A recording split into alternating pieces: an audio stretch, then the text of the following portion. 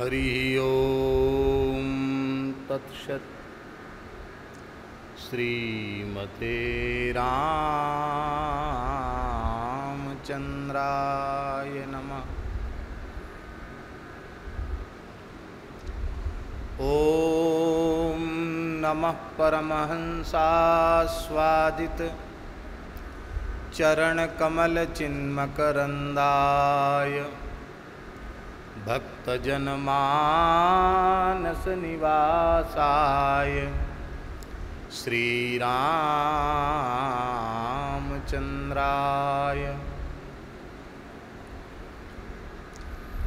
बागीशायस्य वदने लक्ष्मीर्यस्य च वक्षसि। यस्यास्ते हृदये संवित् तं नृसिंहमहं भजे। विश्वसर्गविसर्गादिनवलक्षणलक्षितम् श्रीकृष्णाख्यं परं धाम जगद्धाम नमामि तत्। प्रहलाद नारद पराशर पुंडरीक व्यासाम्बरीश सुकसौनक भीष्मदाल्भ्यान् रुक्माङ्गदार्जुन वसिष्ठ विभीषणादीन् पुण्यानि मान् परमभागवतान् नमामि। वाञ्छाकल्पतरुभ्यश्च। कृपासिन्धुभ्य एव च। पतितानां पावनेभ्यो। वैष्णवेभ्यो नमो नमः। सीतानाथसमारम्भाम् श्रीरामानन्दार्यमध्यमाम् अस्मदाचार्यपर्यन्तां वंदे गुरुपरम्पराम्। नमो गोभ्यः श्रीमतीभ्यः सौरभेयीभ्य एव च। नमो ब्रह्मसुताभ्यश्च पवित्राभ्यो नमो नमः। राधां कृष्णस्वरूपां वै कृष्णं राधास्वरूपिणं कलात्मानं निकुञ्जस्थं गुरुरूपं सदा भजे। नीलाचलनिवासाय नित्याय परमात्मने। बलभद्रसुभद्राभ्यां जगन्नाथाय ते नमः। कल्याणानां निधानं, कलिमलमथनं, पावनं, पावनानां। पाथेयं यन्मुमुक्षोः सपदि परपदप्राप्तये प्रस्थितस्य। विश्रामस्थानमेकं कविवरवचसां जीवनं सज्जनानां। बीजं धर्मद्रुमस्य प्रभवतु भवतां भूतये रामनाम। भक्त भक्ति भगवंत गुरु चतुर नाम बपुएक। इनके पद बंदन किए नाशें विघ्न अनेक। बंदौ गुरुपद कंज कृपा सिंधु नर रूप हरि। महामोहतम पुंज जासु वचन रवि कर निकर। बंदौ तुलसी के चरण जिनकीन हो जग काज। कलि समुद्र बूढ़त लख्यो प्रगट्यो सप्त जहाज़।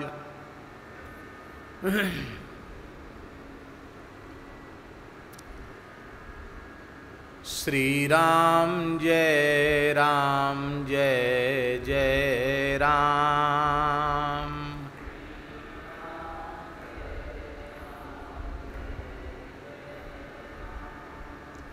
सीतापति सीताराम जय सीताराम।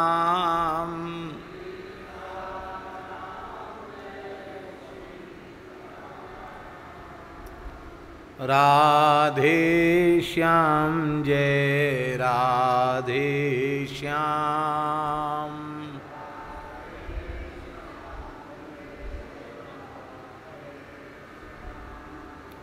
जय रघुनंदन जय सिया राम।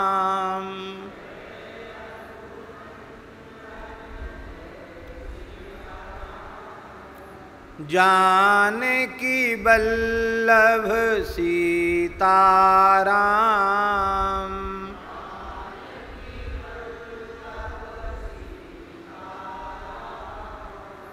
कमला बिमला मिथिला धाम।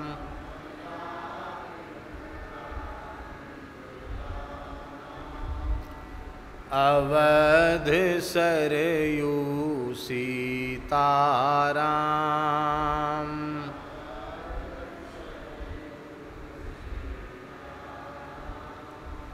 जय जय श्यामा जय जय श्याम।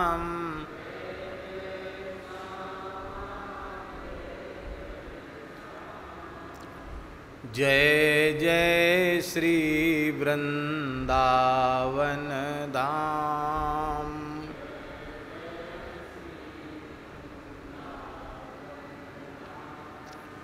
जय जगन्नाथ जय बलदेव।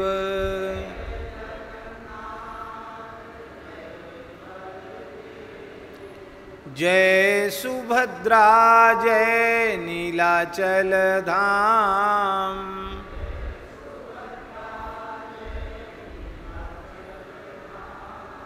श्री राम जय राम जय जय राम।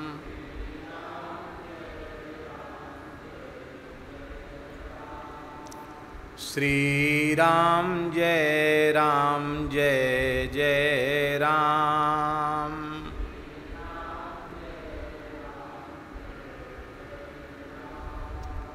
सीता राम जय सीताराम।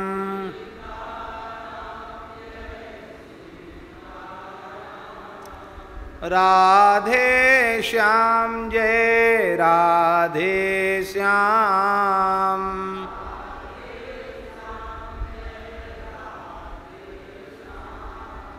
श्री राम जय राम जय जय राम।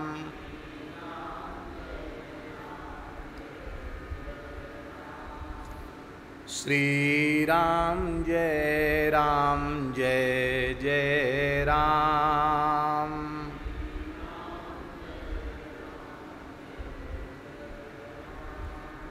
सीता राम जय सीताराम।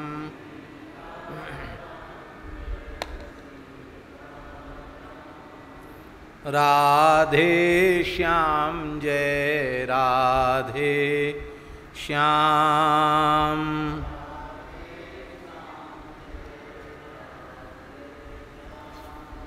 श्री राम जय राम जय जय राम।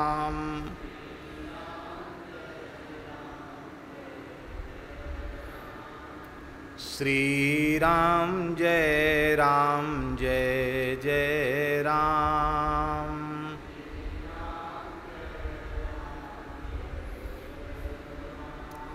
श्री सीता रामचंद्र भगवान की जय।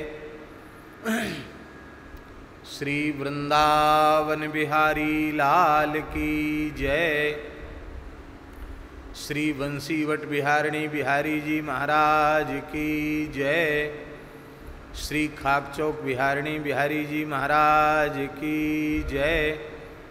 श्री यमुना पुलिन बिहारिणी बिहारी जी महाराज की जय। श्री यमुना महारानी की जय। श्री गिरिराज महाराज की जय। श्री गौ माता की जय। अखिल गोवंश की जय। श्री सूरश्याम गोधाम की जय। श्री जड़खोर गोधाम की जय। श्री पथमेड़ा गोधाम की जय। श्री चौरासी कोष ब्रजमंडल धाम की जय। सब संतन की जय, सब भक्तन की जय, सब विप्रन की जय, समस्त ब्रजवासीन की जय। श्री सद्गुरुदेव भगवान की जय। श्री हनुमान जी महाराज की जय। श्री गोपीश्वर महादेव की जय। श्री अन्नपूर्णा माता की जय। श्री चौरासी कोष ब्रजमंडल धाम की जय। सपरिकर श्री जगन्नाथ महाप्रभु की जय। श्री नीलाचल धाम की जय। जय जय श्री राधे, जय जय श्री सीताराम, हर हर महादेव। हरिशरणम भक्तवांछा कल्पतरु, भक्तवत्सल शरणागत वत्सल दीनबंधु दया सिंधु, कृपा सिंधु भगवान श्री हरि की महती कृपा करुणा से श्रीधाम वृंदावन में श्री यमुना पुलिन वंशीवट ज्ञान गुदरी गोपीश्वर महादेव की सन्निधि में स्थित श्री मलुक पीठ के इस पवित्र पंडित श्री जगन्नाथ प्रसाद भक्तमाली सत्संग भवन में श्री ठाकुर जी की चरण सन्निधि में पूज्य संतों की महत्पुरुषों की मंगलमयी उपस्थिति में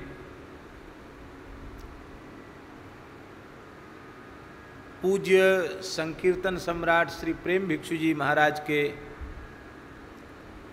पचासवें स्वर्ण स्मृति तिरुभाव महोत्सव के उपलक्ष्य में हम आप सबको गोस्वामी श्री तुलसीदास जी महाराज के मूर्धन्य ग्रंथ, सिद्धांत ग्रंथ, श्री विनय पत्रिका के माध्यम से सत्संग लाभ प्राप्त हो रहा है। कुछ अपरिहार्य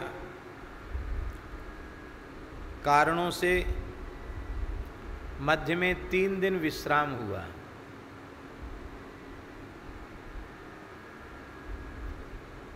चार दिन। अच्छा।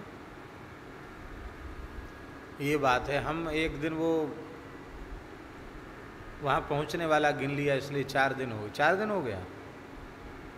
चार दिन हो गए? वाह। चलो, सनकादिक भगवान समझ लो। तो मध्य में चार दिन विराम हुआ और लगभग एक महीना से एक आध दिन ऊपर सत्संग हो चुका था तो बीच में चार दिन का विराम हुआ। आज चौथा दिन है कि पांचवा? आज पांचवा। तो चार दिन हुआ, पाँचवें की तो हाजिरी हो ही रही है। तो हम लोग अब सत्संग आरंभ करते हैं। आज बड़ी प्रसन्नता है कि पूज्य महाराज जी कृपा करके पधारे हैं। अब हम किस नाम से आपको संबोधित करें? हैं? परम पूज्य श्री बलराम दास जी महाराज, कृपा करके पधारे हैं। उनको हम दंडवत प्रणाम निवेदन करते हैं। बड़े अच्छे महात्मा हैं, क्यों ना हो? परम वीतराग ज्ञान, वैराग्य और भक्ति की साक्षात प्रतिमूर्ति। त्याग और तप की साक्षात प्रतिमूर्ति। श्रद्धे श्री स्वामी जी की सन्निधि जिन्हें प्राप्त भई हो, वे लोकोत्तर क्यों न होंगे? अवश्य ही होंगे। ऐसे श्रद्धे, परम श्रद्धे स्वामी श्री राम सुखदास जी महाराज का दीर्घ काल तक जिन्होंने सत्संग प्राप्त किया, ऐसे स्वामी श्री बलराम दास जी महाराज कृपा करके पधारे हैं। हमें बड़ी प्रसन्नता हो रही है आपका दर्शन करके। हम आपको सादर वंदन करते हैं। विराजमान सभी पूज्य संतों को सादर प्रणाम करते हैं। पद संख्या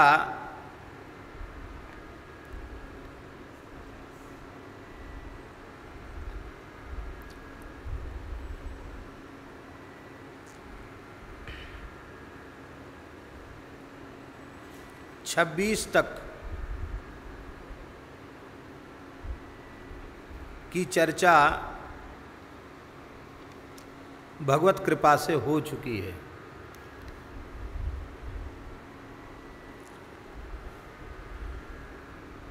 पच्चीसवें पद में हनुमान जी को चंद्रमा कह करके उनका वंदन किया और छब्बीसवें पद में भगवान सूर्य से उपमित करके उनका वंदन किया। अब सत्ताईसवें पद में गोस्वामी तुलसीदास जी महाराज श्री हनुमान जी का मंगलमय स्मरण कर रहे हैं। दास पहले निवेदन कर चुका है कि बारह पदों में हनुमान जी की वंदना गोस्वामी जी ने की है। मानो हनुमान जी के द्वादश नामों को नमस्कार किया।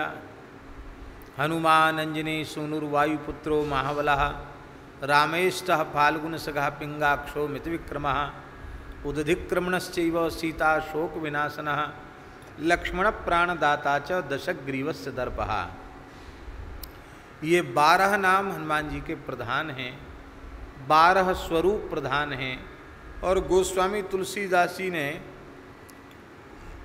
काशी में द्वादश हनुमान जी को अपने हाथ से प्रतिष्ठित किया।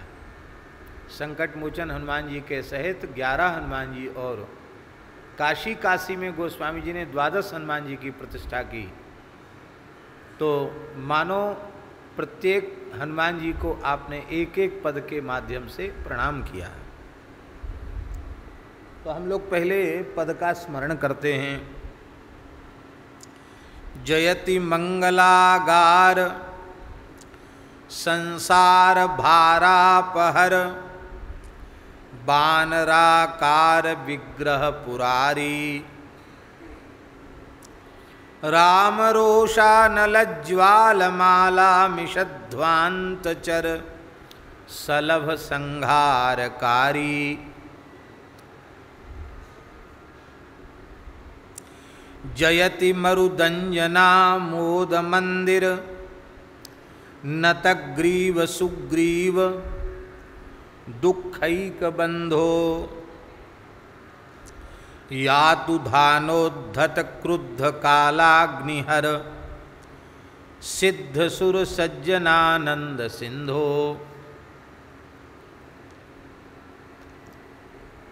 जयति रुद्राग्रणी विश्ववंद्याग्रणी विश्वविख्यात भट्ट चक्रवर्ती सामगाताग्रणी। कामजेताग्रणी। रामहित राम भक्तानुवर्ती जयति संग्राम जय राम संदेश हर कौशला कुशल कल्याण भाषी राम बिरहार्क संतप्त भरतादि नर नारी शीतल कर्ण कल्प शाखी जयति सिंहासनासीन, सीतारमण निरख निर्भर हरस नृत्यकारी राम संभ्राज शोभा सहित सर्वदा। तुलसी मानस, रामपुर बिहारी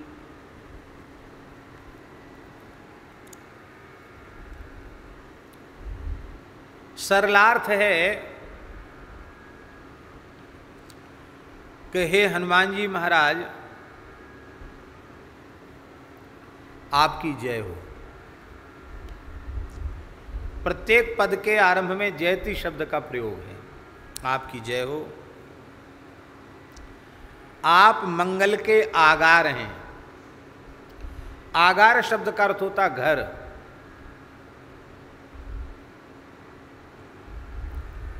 नाभा जी ने कहा है, मंगल आदि विचारी रह वस्तुन और अनूप, हरिजन को यश गामते, हरिजन मंगल रूप। हरिजन मंगल रूप हैं। तो हनुमान जी हरिजनाग्रणी हैं। जितने भी हरिजन हैं, भगवदीय जन हैं, वैष्णव जन हैं, उनमें अग्रगण्य श्री हनुमान जी बहुत प्रसिद्ध है अवध धाम धामाधिपति अवतारण पति राम। सकल सिद्धिपति जानकी, दासन पति हनुमान। संसार में जितने भी दास हैं, उन सबके स्वामी श्री हनुमान जी हैं। वैसे, समस्त आस्तिक संप्रदायों में श्री हनुमान जी की पूजा होती है। किंतु वैष्णवों के चतुसंप्रदायों में तो अखाड़े के प्रधान देवता के रूप में हनुमान जी ही हैं। आप लोगों ने देखा होगा, कोई विशेष उत्सव, महोत्सव, शोभा यात्रा होती या जरा भंडारा होता है तो निशान पधारते हैं। ऊँचे ऊँचे हाथ में लेकर के, वो निशान क्या है? वो ध्वजा है। और उस ध्वजा में श्री हनुमान जी प्रतिष्ठित होते हैं। उन्हीं को निशान कहा जाता है।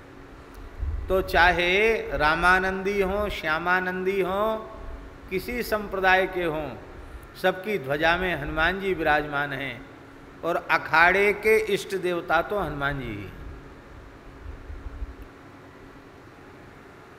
तो इसलिए दासनपति हनुमान, जो जब दास ही मंगल स्वरूप हैं तो दासों में श्रेष्ठ दासों के स्वामी श्री हनुमान जी, वे तो मंगलागार हैं ही। दूसरा भाव ये है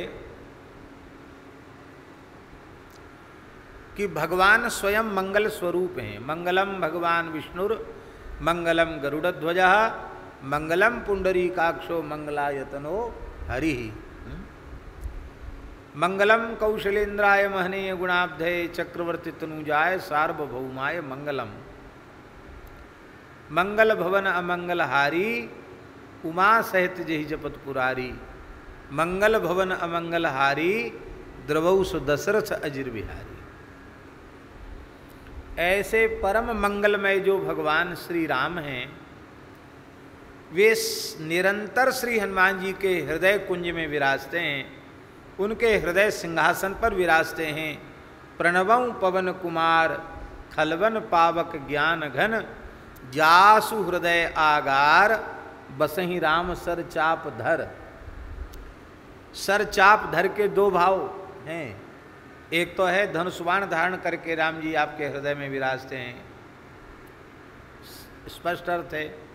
दूसरा अर्थ है कि सर्वत्र रघुनाथ जी धनुष्वाण लेकर खड़े रहते हैं। बैठते नहीं हैं। पर यहाँ धनुष की प्रत्यंचा उतार देते हैं, तर्कस को भी रख देते हैं। आराम से धनुष बाण को पधरा कर हनुमान जी के हृदय में बैठे रहते हैं। सरकार को बिल्कुल भी कष्ट नहीं उठाना पड़ता है। क्यों? हनुमान राम जी धनुष्वाण लेकर खड़े क्यों रहते हैं? इसलिए खड़े रहते हैं कि मान लो हम लेटे होंगे अथवा बैठे होंगे और भक्त आर्त होकर हमें पुकारेगा तो सावधान होकर, खड़े होकर भागने में विलंब हो जाएगा। इसलिए सरकार खड़े रहते हैं कोई बुलावे तो सही हम दौड़ें। हनुमान जी ने कहा, सरकार, आप भाग दौड़ तो खूब करते हैं, लेकिन हमारे हृदय में तो आपको धनुष बाण, तर्कस सब नीचे पधरा करके आपको खड़े नहीं रहना है, आपको तो बैठना है। भगवान बोले कि जब भक्तों पे भीड़ पड़ेगी संकट पड़ेगा और भक्त बुलाएँगे तब हमको फिर और समस्या होगी खड़े होना पड़ेगा। धनुष को झुकाकर प्रत्यंचा चढ़ानी पड़ेगी तर्कस संभालना पड़ेगा फिर दौड़ना पड़ेगा। तो भक्त रक्षण की प्रतिज्ञा हमारी बाधित हो जाएगी। इसलिए ऐसी आ, ऐसा आग्रह न करो ऐसी इच्छा न करो हनुमान जी बोले, नहीं महाराज, आपको तो जैसे हम प्रार्थना कर रहे हैं, वैसे ही आपको निश्चिंत होकर बैठना है। क्यों? क्योंकि आप भाग जाएँ हृदय से। क्षणार्ध के लिए आपका स्वरूप हमारे अंतकरण रूपी सिंहासन से त्रोहित हो जाए। हम यह सहन नहीं कर सकते। रही भक्तों के ऊपर संकट की बात तो यह दीनहीन दास आपका है ना? आपको जो भी पुकारेगा, आपको कष्ट नहीं उठाना पड़ेगा। यह दास पहले ही आपके दास के संकट को दूर कर देगा। बोलो, श्री संकट मोचन हनुमान जी महाराज की। इसलिए मंगलागार का दूसरा अर्थ है, मंगलमय मंगल स्वरूप मंगल निधान। श्री रघुनाथ जी, जिनके हृदय को अपना आगार निवास स्थान बनाकर विराजते हैं ऐसे हनुमान जी। मंगल माने राम जी, आगार माने उनका घर। राम जी का वास्तविक निवास श्री हनुमान जी का हृदय है। क्यों निवास है? इसलिए निवास है कि हनुमान जी परम सिद्ध कोटि के भक्त हैं। विषयी साधक सिद्ध सयाने ये जो कोटियाँ भक्तों में कही गई हैं, उनमें हनुमान जी सिद्ध कोटि के भक्त हैं। सिद्ध भक्त किसको कहते हैं? जो परम निष्काम हो, वो सिद्ध भक्त है। प्रहलाद जी को सिद्ध भक्त कहा जाता है, क्योंकि प्रहलाद जी ने पूरे प्रहलाद जी के चरित्र को उठाकर देख लो प्रहलाद जी ने कहीं भी रक्षमाम, पाहिमाम, त्राहिमाम नहीं कहा विकट से विकट परिस्थिति में भगवान की लीला का ही दर्शन करते रहे, भगवान की कृपा का ही अनुभव करते रहे? हम्म? और कोई कामना प्रहलाद जी ने भगवान से नहीं की कामना तो नहीं ही की कामना तो नहीं ही की भगवान के बार बार कहने पर कि वरदान मांगो वरदान मांगो वरदान मांगो। प्रहलाद जी ने एक ही बात कही। प्रहलाद जी बोले, आपको ज़्यादा ही ललक लग रही है वरदान देने की तो आप ऐसी कृपा करो कि कामानाम हृदय संरोहा भवतस्तु वृणे वरम हे भगवान, मैं आपसे यही वरदान माँगता हूँ। हृदय कामानाम असन्रोहा हमारे हृदय में कामनाओं का बीज ही अंकुरित न हो। ये वरदान क्यों मांगा? ये वरदान इसलिए मांगा कि प्रहलाद जी विचार करने लगे कि मेरे भीतर कामनाएँ तो हैं, पर मेरी अनुभूति में नहीं आ रही हैं। क्योंकि सर्वथा मेरा चित्त कामना शून्य होता तो भगवान को ये कहने का साहस ही नहीं होता कि तुम मांग लो। इसका मतलब कामनाएँ तो भीतर हैं, पर वे प्रसुप्त पड़ी हुई हैं, अंकुरित नहीं हुई हैं, बीज रूप में कामनाएँ पड़ी हुई हैं। हे भगवान, जहाँ पड़ी हैं, वहीं पड़ी रह जाएँ, उनमें अंकुरण न हो। ऐसे सिद्ध कोटि के भक्त श्री प्रहलाद जी हैं। ऐसे ही परम सिद्ध कोटि के भक्त श्री हनुमान जी महाराज हैं। हनुमान जी महाराज के संपूर्ण चरित्र में उन्होंने रघुनाथ जी से कभी कुछ मांगा नहीं। सेवा के बदले तो नहीं ही मांगा। बार बार भगवान के कहने पर भी श्री हनुमान जी ने वरदान नहीं मांगा। है? इसलिए हनुमान जी का हृदय रघुनाथ जी का निज निवास स्थान है, क्योंकि जिनको कबहू न चाहिए कछु, तुम सन सहज सने बसहु निरंतर तास उर सोराउर निज गेह निज गेह हम्म? अब हम कहीं कुछ दिन के लिए चले जाते हैं, आवश्यक होने पर जाते हैं पर वहाँ रहते तो नहीं हैं। रहते तो ज़्यादातर यहीं हैं, क्योंकि ये निज निवास स्थान है। मान लो ज़्यादा भी बाहर रहें तो भी कोई पूछे कि आप अपना पता दिखाइए तो हम ये नहीं कहेंगे कि बम्बई में अमुक मोहल्ले में कोयम्बटूर में अमुक मोहल्ले में, दिल्ली में अमुक मोहल्ले में हम रहते हैं। क्या कहेंगे? श्री वृंदावन मलुक पूछ में निवास करते हैं। यही तो कहेंगे। भगवान का स्थायी पता है, हनुमान जी का हृदय ऐसे मंगलागार श्री हनुमान जी महाराज, और कैसे हैं? संसार भारापहर संसार के भार को हरण करने वाले अपहरण करने वाले हैं, दो प्रकार से। एक तो साक्षात रुद्र हैं प्रलयंकर शिव हैं। इसलिए महाप्रलय काल में इस संपूर्ण ब्रह्मांड को अयो गोलक के समान दग्ध कर देते हैं। अयो गोलक समझते हैं? नहीं। लोहे का गोला हो और उसको धधकती हुई आग में डाल दिया जाए। और फिर बाहर निकाला जाए तो कैसा लगेगा? वो काला लो, लोहे का गोला नहीं दिखाई पड़ेगा वो अग्नि का ही गोला दिखाई पड़ेगा। ऐसे ही भगवान शिव जब इस ब्रह्मांड को जलाते हैं तो वह दग्ध अयो गोलक के जैसा दिखाई पड़ता है। जलते हुए लोहे के पिंड के जैसा दिखाई पड़ता है। तो इस रूप में महाप्रलय करते हैं आप तो संसार भारा पहर। दूसरा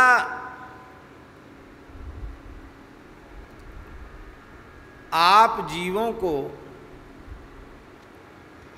ज्ञान, भक्ति, वैराग्य का उपदेश करते हैं। अग्रे बाचयति प्रभंजन सुते। तत्व मुनीन्द्र परम।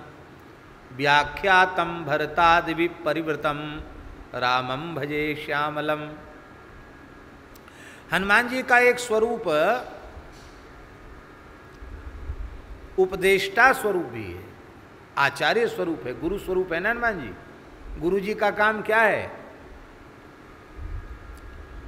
जीव और ब्रह्म के बीच की मध्यस्थता करना। ये गुरु जी का काम है। भगवान को राज़ी करना कि प्रभु आपका ही अंश है। कुछ माया की चोट चपेट खाकर घायल हुआ था। अब आप इसको अपना लीजिए, क्योंकि आपने छाती ठोक ठोक के कहा है हम्म? ममई वांसो जीवलोके जीवभूत सनातन। मनष्ठानी इंद्रियाणी प्रकृतिस्थानी कर्षति। एव कार अन्य की व्यावृत्ति के लिए। मेरा ही अंश है। दूसरे का अंश नहीं। आपका अंश है तो आपको छोड़ के जाएगा कहाँ? आप इसे अपनाइए।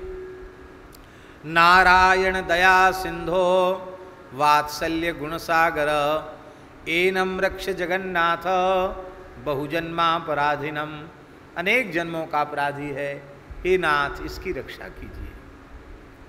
तो भगवान के गुणों को, भगवान को सुना करके, उनकी कृपालुता, दयालुता, भक्तवत्सलता शरणागत वत्सलता आदि आदि गुणों को सुना करके सरकार को राज़ी करते हैं कि इसको तो शरण में लेना ही पड़ेगा। नाथ शैल पर कपिपति रही सो सुग्रीव दास तब आई भोगी विषयी भयाकुल को भी दास बना देते हैं। हनुमान जी झूठ नहीं बोलते, वो जानते हैं, जीव मात्र श्री रघुनाथ जी का नित्य दास है। इस दृष्टि से सुग्रीव जीव तो है, और जीव है तो भगवान का दास है तो इसमें झूठ क्या है? यही बात सच्ची है, सो सुग्रीव दास तब आई।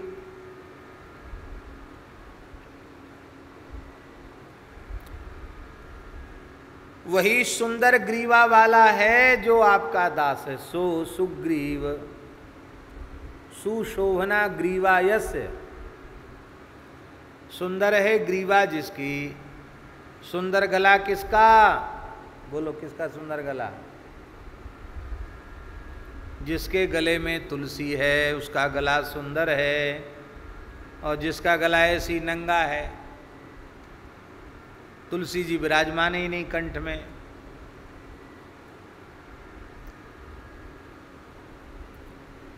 ये कंठ लग्न तुलसी नलिनाक्ष माला, ये वही ललाट पटले लसदूर्ध पुंडा, ये बाहुमूल परिसन्नित शंख चक्रा ते वैष्णवा भुवन मासु पवित्र पवित्रयंती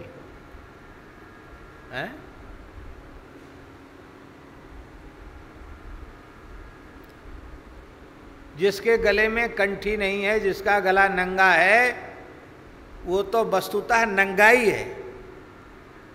चाहे जितना पढ़ा लिखा हो, चाहे जितना ज्ञानी ध्यानी हो, वस्तुतः नंगा ही है। सुंदर ग्रीवा वाला वही है जो आपका दास है, अथवा जो आपका दास होता, वही सुंदर ग्रीवा वाला होता है, क्योंकि आपके दास अपने कंठ में निरंतर कंठी धारण करते हैं। यज्ञोपवीतवद्धार्या कंठे तुलसी मालिका क्षणार्धम तदविहीनोपि विष्णुद्रोही भवे न रहा आधे क्षण के लिए तुलसी गले में न रह जाए तो भगवत द्रोही के तुल्य हो जाता है। हमें बड़ी प्रसन्नता होती हमारे गौड़ीय वैष्णव इतनी तुलसी पहनते हैं, क्या कहना? तीन लड़की, पाँच लड़की, ओ, इतनी माला तुलसी की। तुलसी ही श्रृंगार है। श्री विनोद बाबा जी के पास एक महात्मा रहते हैं, इतनी तुलसी पहनते हैं, इतनी सुंदर सुंदर तुलसी, क्या कहना? तुलसी से कंठ की शोभा है। श्रीमन महाप्रभु जी के परिकर श्री मधु पंडित, श्री मधु गोस्वामी जी, जिन्होंने श्री गोपीनाथ जी को प्रकट किया, वे तो तुलसी का ही वस्त्र धारण करते थे।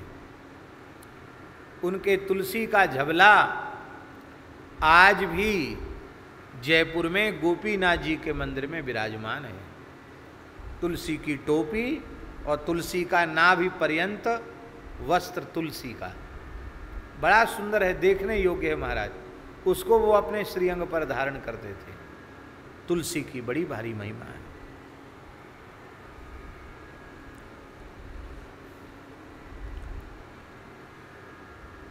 तो हनुमान जी वस्तुतः जीव को दास बनाते हैं और उस जीव को भगवत शरणागत बना के तुलसी पधरा करके उसे सुग्रीव बना देते हैं सुंदर ग्रीवा वाला बना देते यही तो गुरु जी का काम है। इधर राम जी को राज़ी किया इधर सुग्रीव को राज़ी किया। और पावक साखी दे कर जोरी प्रीति दृढ़ाए। अग्नि की साक्षी में आ, हाँ, प्रेम के प्रेम संबंध को जोड़ दिया। और इसी को ब्रह्म संबंध कहते हैं, इसी को दीक्षा कहते हैं, इसी को शरणागति कहते हैं। पर यहाँ एक विशेष बात है, ध्यान देने की बात है कि हनुमान जी जैसे समर्थ गुरु सुग्रीव को मिले हैं, ऐसे समर्थ गुरु के चेला को एक माला भी नहीं फेरना पड़ा। गुरुजी राम जी को लेके आ गए, लिए दो जन पीठ चढ़ाई। दीक्षा तो पीछे, भगवत प्राप्ति पहले। ऐसे समर्थ गुरु। और ऐसे समर्थ गुरु का चेला होकर भी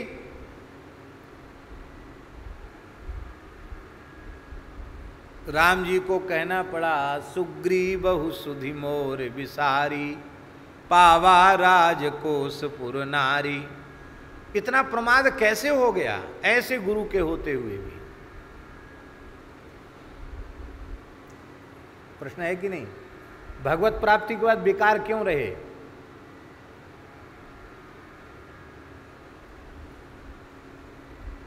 स्त्री के प्रति, राज्य के प्रति, भोगों के प्रति महत्व बुद्धि क्यों रही आई? लोभादि, कामादि विकार सर्वथा नष्ट क्यों नहीं हुए? और नहीं हुए तो भगवत प्राप्ति की महिमा क्या हुई? यह प्रश्न किया जा सकता है। आप कहेंगे, भगवान की प्राप्ति से क्या लाभ? कहाँ सुग्रीव के विकार कहाँ नष्ट हुए?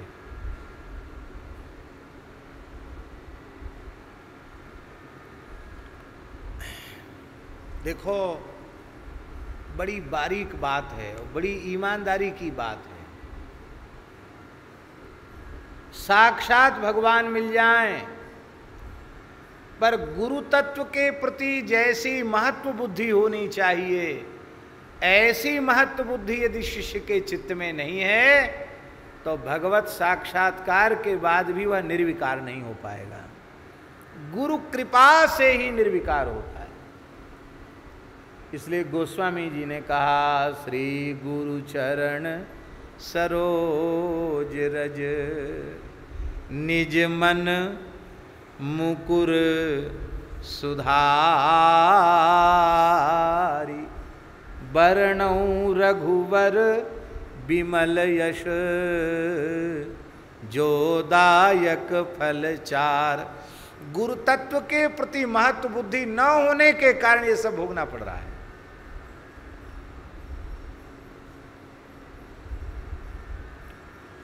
इसलिए मोते अधिक गुरु ही जिए जानी।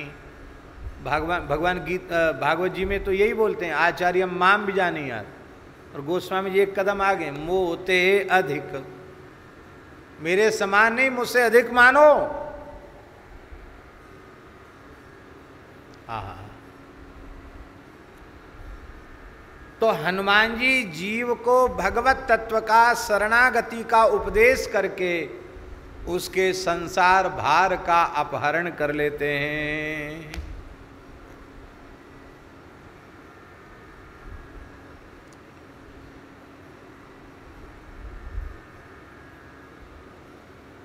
विभीषण जी परम साधन संपन्न है। उत्तमोत्तम कोटि के साधक हैं। लंका जैसे स्थान में रहकर भी उनके साधन में विक्षेप नहीं है। क्षणार भी साधन से वंचित नहीं है। सिद्ध कोटि के साधक हैं, विभीषण जी महाराज। लेकिन उनको भी प्राप्ति तब तक नहीं होती है जब तक श्री हनुमान जी उन्हें अंगीकार नहीं कर लेते हैं। हनुमान जी ने उनको हृदय से लगा लिया, अपना मान लिया तो रघुनाथ जी की प्राप्ति कितने जल्दी हुई? बोलो। कितने साल लगे राम जी मिलने में? वर्ष लगे? नहीं लगे। हनुमान जी लंका जला के गए हैं और वहाँ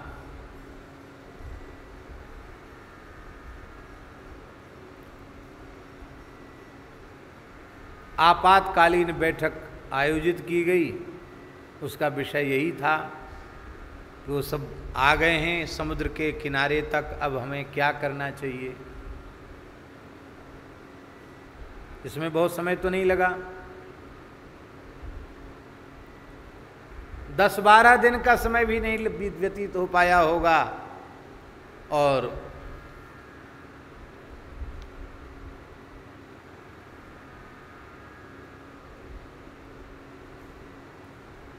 दस बारह दिन का भी समय व्यतीत नहीं हो पाया।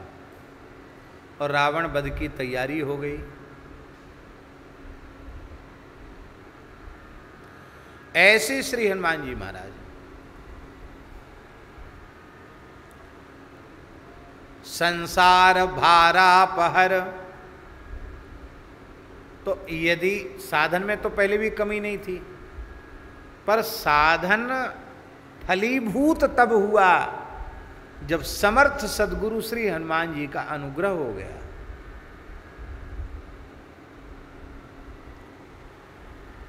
इसलिए संसार भारापहर हनुमान जी गुरु स्वरूप हैं, आचार्य स्वरूप हैं, इसलिए वे जीव को भगवत शरणागति प्रदान करके, ज्ञान भक्ति वैराग्य का उपदेश करके, कृपा करके श्री हनुमान जी महाराज उसके संसार भार का अपहरण कर लेते हैं। श्री तुलसीदास जी महाराज कहते हैं, इनका देखने में आकार बानर के जैसा है, पर ये बानर आकार विग्रह पुरारी। ये बानराकार स्वरूप में साक्षात भगवान शिव ही हैं। रुद्र देह तज नेह बस बानर भे हनुमान। ऐसे आप हैं। और हे भगवान राम रोषा नलज्वाल माला मिसध्वांत चर सलभ संहारकारी।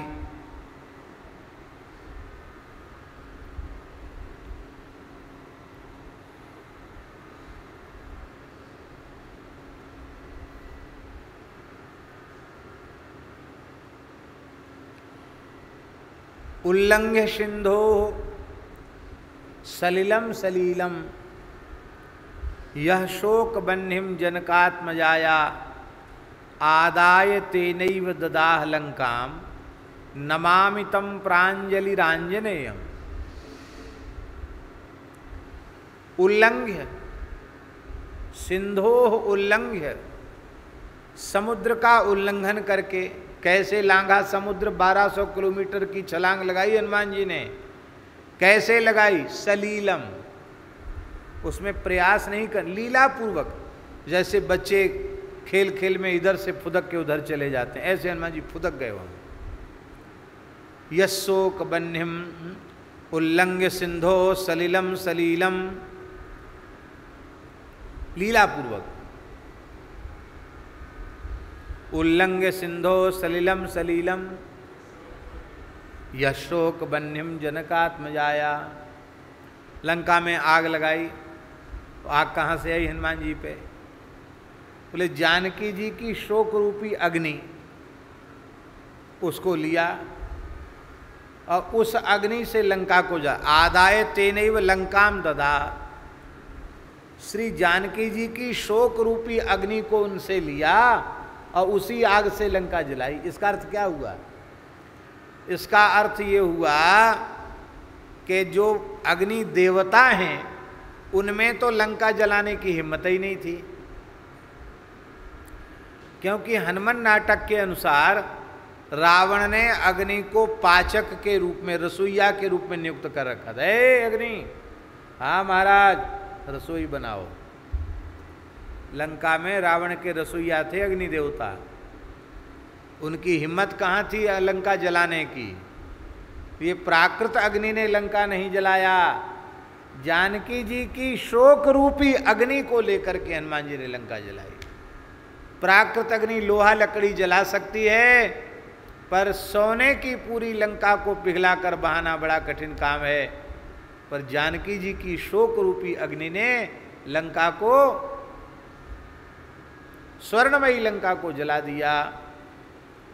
आदाय तेन ददाह लंकाम नमामितम प्रांजलि।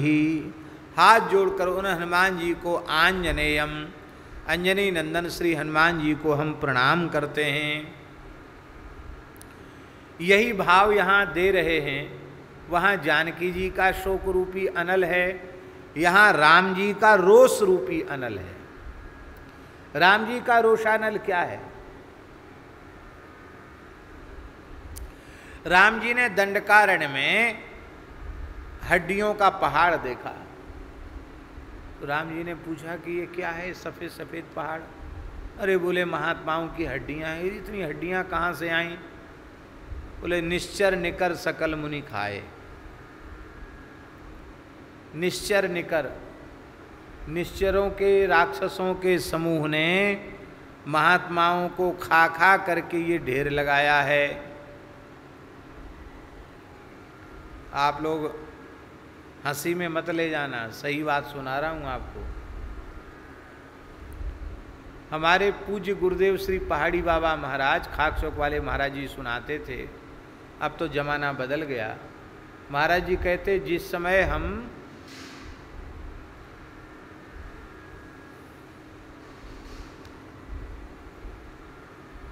अरुणाचल प्रदेश में, नागालैंड की तरफ़, जहाँ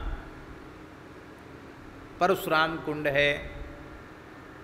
तोले परशुराम कुंड की यात्रा बहुत खतरनाक थी उस जमाने में। इतनी खतरनाक थी। आज भी खतरनाक है। हम लोग तो हो गया है परशुराम कुंड। वहाँ आज भी जंगलों में नरभक्षी लोग रहते हैं। नरभक्षी। नरमांस भक्षी और कहीं महात्मा मिल जाए तो उनका हृदय बड़ा प्रसन्न हो जाता है। महाराज जी की सुनी, सुनाई हुई बात सुना रहे हैं। वो मानते हैं कि किसी महात्मा को खा लिया जाए तो हमारे जीवन के सारे पाप नष्ट हो जाएँगे। क्योंकि महात्मा तो सब तीर्थों में घूमते हैं, वे बड़े पवित्र होते हैं, फलाहारी होते हैं हैं? तो उनको खाने से हमारे पाप नष्ट हो जाएँगे और हमारे, हमको सब तीर्थों का पुण्य मिल जाएगा, हम तो धन्य हो जाएँगे।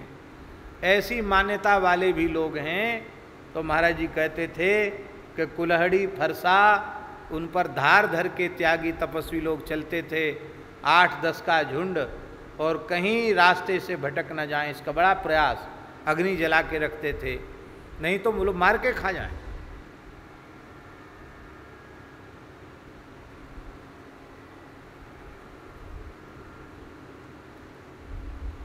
एक महात्मा के साथ घटी हुई सत्य घटना। ये घटना लगभग 80-90 वर्ष पुरानी हो सकती है। महाराज जी के मुखारविंद से सुनी हुई घटना। बोले, उधर की यात्रा में एक महात्मा थे जमात से छूट गए, भटक गए तो एक भेड़ चराने वाला मिला। वो विशाल काय था महाराज को सामान्य मनुष्य के जैसा स्वरूप नहीं था उसका। उसने इनको पकड़ लिया। भाषा समझ में नहीं आवे क्या भाषा बोल रहा था। ले गया एक गुफा में। इतनी बड़ी गुफा थी कि उसमें उसकी सब भेड़ें आ गईं। और दरवाजे की तरफ़ खुद बैठ गया। वहाँ अग्नि जल रही थी। वो महात्मा को दूर बिठा दिया। और वहाँ बैठा और एक भेड़ को ऐसे ही उठाया और अग्नि में भून कर ऐसे ही खा गया, बनाने बनाने की ज़रूरत नहीं, ऐसे ही दांतों से खा गया। खा करके कुछ मादक पदार्थ था, उसको पिया और लेट गया। और महात्मा के तो प्राण सूख गए, उन्होंने कहा, थोड़ी देर में हमारा भी जब भी ये सो के उठेगा और उसको थोड़ी बाल भोग की इच्छा होगी तो अभी तो हमारे सामने भीड़ का काम तमाम किया है, अब हम, हमारे साथ भी ऐसा ही करेगा। अब वो महाराज हनुमान जी की याद करने लगे, जय हनुमान, ज्ञान गुण सागर, जय कपीस सिंह, लोक उजागर। हनुमान जी को बहुत पुकारा, हनुमान जी बचाओ इससे। इसके जा भी नहीं सकते, भाग करके क्या करें, कैसे करें? तो भगवान बुद्धि देते हैं, जुक्ति मुक्ति देते हैं। तो जैसी वो सो गया, महात्मा के पास चिपिया थी। चिपिया जानते हो ना? चिमटा। वो चिमटा था महात्मा के पास, उन्होंने उसको धूना में डाल दिया। लाल हो गया। और वो सो रहा था। तो सोते हुए उसके दोनों नेत्रों में ऑपरेशन कर दिया। अभी अपने प्राण बचाना तो कुछ तो करना पड़ेगा। और तो कुछ कर नहीं सकते। तो दोनों आँख उसकी जलाई, बड़ी ज़ोर से वो चिल्लाया और ये भागे वहाँ से। जैसे तैसे प्राण बचा करके आए। तो ऐसे भी लोग हैं नरभक्षी जो मनुष्यों को खा जाते हैं और महात्माओं को तो विशेष पवित्र मानकर बड़े प्रसन्न होकर खाते हैं। तो ये आसुरी संस्कृति है, वो सब निश्चर निकर सकल मुनि खाए। परम श्रद्धे पूज्य श्री मानस मर्मज्ञ श्री रामेश्वर दास रामायणी जी का भाव, जिन्होंने भक्तमाल की बृह टीका की, ऐसे परम श्रद्धे पूज्य श्री स्वामी रामेश्वर दास जी रामायणी जी महाराज। अद्भुत वक्तव्य था उनका, अद्भुत शैली। दास के ऊपर तो उन्होंने इतनी बड़ी कृपा की अपने हाथ से लिखित विनय पत्रिका दास को उन्होंने प्रदान की। आज भी हमारे पास वह सुरक्षित है। तो वो बड़ी सुंदर सुंदर बात मानस जी की बताते थे। एक बार हम उनके पास गए तो उन्होंने कहा, निश्चर निकर सकल मुनि खाए। सकल मुनि खाए तो अगस्त जी सुतीक्षण जी, ये सब कहाँ से आ गए? ये झूठ लिखा है। निश्चर, निकर, सकल मुनि खाए। सकल मने संपूर्ण। जब सभी महात्माओं को खाई लिया तो सकल मुनि के आसमन जाए जाए सुख दिन महात्मा आए कहाँ से? बात अटपटी सी है। दंडकारण में भगवान ऋषियों को जा जाकर दर्शन दे रहे हैं। तो जब सब खाई गए, निश्चर, निकर, सकल मुनि खाए तो फिर बचा क्या? तो हमने कहा, महाराज जी, आप ही बताइए। तो उन्होंने बड़ी अच्छी बात बताई। उन्होंने कहा, जो केवल सकल मुनि थे,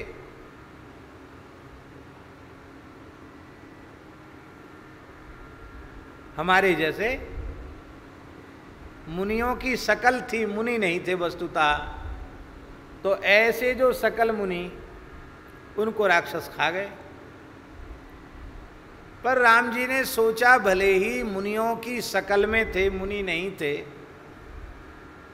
पर भाई भेष तो साधु का था, संत का था, ऋषि मुनि महात्मा का था तो राम जी ने उन सकल मुनियों को भी मुनि ही माना। तो निश्चर निकर सकल मुनि खाए। भाई सब लोग घर छोड़ के चले आते हैं जंगल में। पर जंगल में बस जाने मात्र से और कोई एक विशेष वेशभूषा बना लेने मात्र से सब ऋषि मुनि महात्मा नहीं बनते हैं हैं? उनके जैसा आचरण हो, वे ही महात्मा माने जाते हैं। तो राम जी ने अपनी करुणा दिखा दी।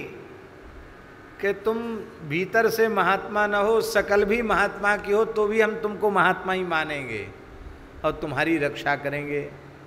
तो राम जी ने निश्चरहीन करो मही भुज उठाए प्रणकीन। राम जी ने भुजा उठा करके प्रतिज्ञा की कि मैं धरती को निश्चरों से विहीन कर दूँगा। यही है राम जी का रोष। और यही रोष है अग्नि। राम रोषा नलज्वाल माला मिशज्वांत चर श्री राम जी का जो रोष है, उसकी जो अग्नि है क्रोध रूपी जो अग्नि है, ये क्रोध रूपी अग्नि क्यों कहा? क्यों कहा? गोस्वामी जी ने इसलिए कहा कि ये सब संतापराध करने वाले हैं भक्तापराध करने वाले हैं। जो अपराध भगत कर करई, राम रोष पावक सो जरई। और राम जी के रोष रूपी अग्नि में जल जाती है, जल जाता है। हमारे पूज्य गुरुदेव श्री भक्तमाली जी से किसी जिज्ञासु ने पूछा कि महाराज जी, अमुक जगह लिखा है कि होलिका को ब्रह्मा जी का वरदान प्राप्त था कि वह अग्नि में नहीं जलेगी। तो ब्रह्मा जी का वरदान झूठा कैसे हो गया? होलिका जल गई और प्रहलाद जी कैसे बच गए? तो महाराज जी ने कहा, नहीं, ब्रह्मा जी का वरदान झूठा नहीं हुआ। क्यों? बोले, अग्नि में न जलने का वरदान था, उसको तो अग्नि में कहाँ जली? वो भक्तापराध रूपी अग्नि में जली। राम रोष पावक सो जरई। वो सामान्य अग्नि में नहीं, भक्तापराध से जन्य जो राम जी का रोष, उस रोष रूपी अग्नि में वो होलिका जल गई। इसलिए ब्रह्मा जी का वरदान झूठा नहीं है। इतना सुंदर समाधान महाराज जी ने किया। यही बात कही जा रही है, राम रोषा नल ज्वाल माला मिशद ध्वांत चर। राम जी की रोष रूपी जो अग्नि है और वह अग्नि की जो ज्वाल माला है, प्रचंड अग्नि है, उसके बहाने से ध्वांत चर ध्वांत चर माने होता है निशाचर राक्षस। उनका संहार कर दिया हनुमान जी ने। राम जी की रोष रूपी अग्नि को लेकर के उसी ज्वाल माला के मिस माने बहाने से हनुमान जी ने उन राक्षसों को ऐसे जला दिया, सलभ संहारकारी। सलभ जानते हैं? नहीं जानते। पतिंगे। दीपक जलाने पर वर्षा काल में विशेष रूप में आप देखेंगे, बरसात में तमाम कीड़े पैदा हो जाते हैं। आप दीपक जलाएँगे तो दीपक की ज्योति को देखकर पतिंगे आकर उस पर टूट पड़ते हैं। और सवेरे तक यदि दीपक जलता रह गया तो सैकड़ों जीव उसमें जल करके मर जाते हैं। तो जैसे वे सलभ फतिंगे, पतिंगे। वे जल जाते हैं अग्नि में। ऐसे ही राम जी की राम जी के रोष रूपी ज्वाला माला के बहाने से हनुमान जी ने लंका के राक्षसों को लंका दहन करके पतिंगों के जैसे जला दिया। जयति मरुदंजना मोद मंदिर। हनुमान जी की जय हो। कैसे हनुमान जी? मरुत अंजना मोद मंदिर। वायु और अंजना, दोनों के मोद के जो मंदिर हैं, भवन हैं। हनुमान जी का प्राकट्य हुआ तो पवन देव बड़े प्रसन्न हो गए। क्यों? हमारा संबंध हनुमान जी से जुड़ गया, है?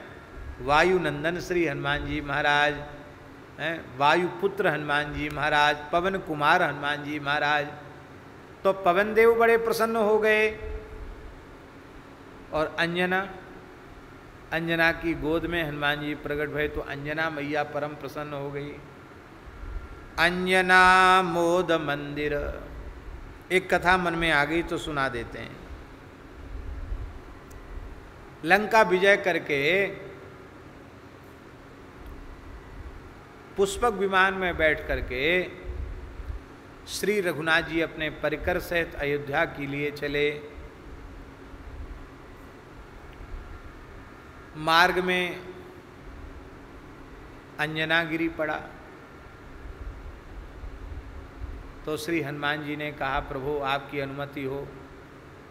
तो मैं अपनी पूज्या माता जी के चरणों में प्रणाम करके आऊँ।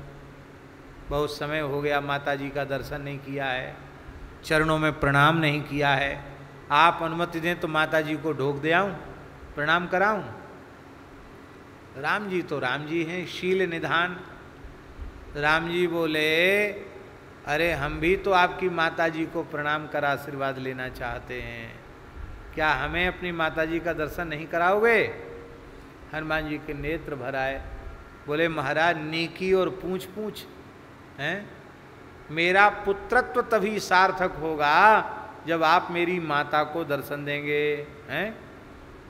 अरे पुत्र वही पुत्र है जो अपनी मैया भगवान के दर्शन करा दे। तो हम तो चाहते हैं कि आपके दर्शन मेरी मैया को हो, लेकिन संकोच के मारे हम निवेदन नहीं कर रहे थे आपको संकोच में डाल के, पर आप स्वयं कृपा कर रहे हैं। ये तो दास का परम सौभाग्य है और मेरी माता का परम सौभाग्य है। लक्ष्मण जी, जानकी जी सबने कहा, हम भी चलेंगे, हम भी चलेंगे। सब तैयार हो गए। बोले, ये दो, एक दो की बात नहीं, सब चलो। पुष्पक विमान मोड़ दिया, पहुँच गए अंजना माता के निकट। हनुमान जी बोले, आप लोग थोड़ा दूर कृपा करके खड़े रहना। मैं अपनी मैया से मिल लूँ प्रेम से, क्योंकि माताएँ जो है ना भीड़ भाड़ में मिलना पसंद नहीं करती। उनके मन की इच्छा पूरी नहीं होती है। भीड़ भाड़ में कैसे सिर पे हाथ फिरा में कैसे मस्तक सूंघें, कैसे स्नेहांकन करें, चुंबन करें, कैसे लाड़ प्यार दुलार करें, वो माताओं को अवसर नहीं मिलता तो उनको संतोष नहीं होता। अब कुछ पूछ लें, कुछ बता दें, अब उनको संतोष हो जाता है। तो हनुमान जी बोले कि भीड़ भाड़ में मेरी मैया थोड़ी घबरा जाएगी तो आप लोग थोड़ा देर खड़े रहें। मैं अपनी माँ से मिल लूँ और साथ ही माँ को बता दूँ कि साक्षात रघुनाथ जी पधारे हैं। आप दर्शन करो। और नहीं तो बिना बताए जाएँगे तो उसको भी प्रसन्नता नहीं होगी कि अरे हमको पहले से बताया नहीं कि राम जी दर्शन देने आ रहे हैं।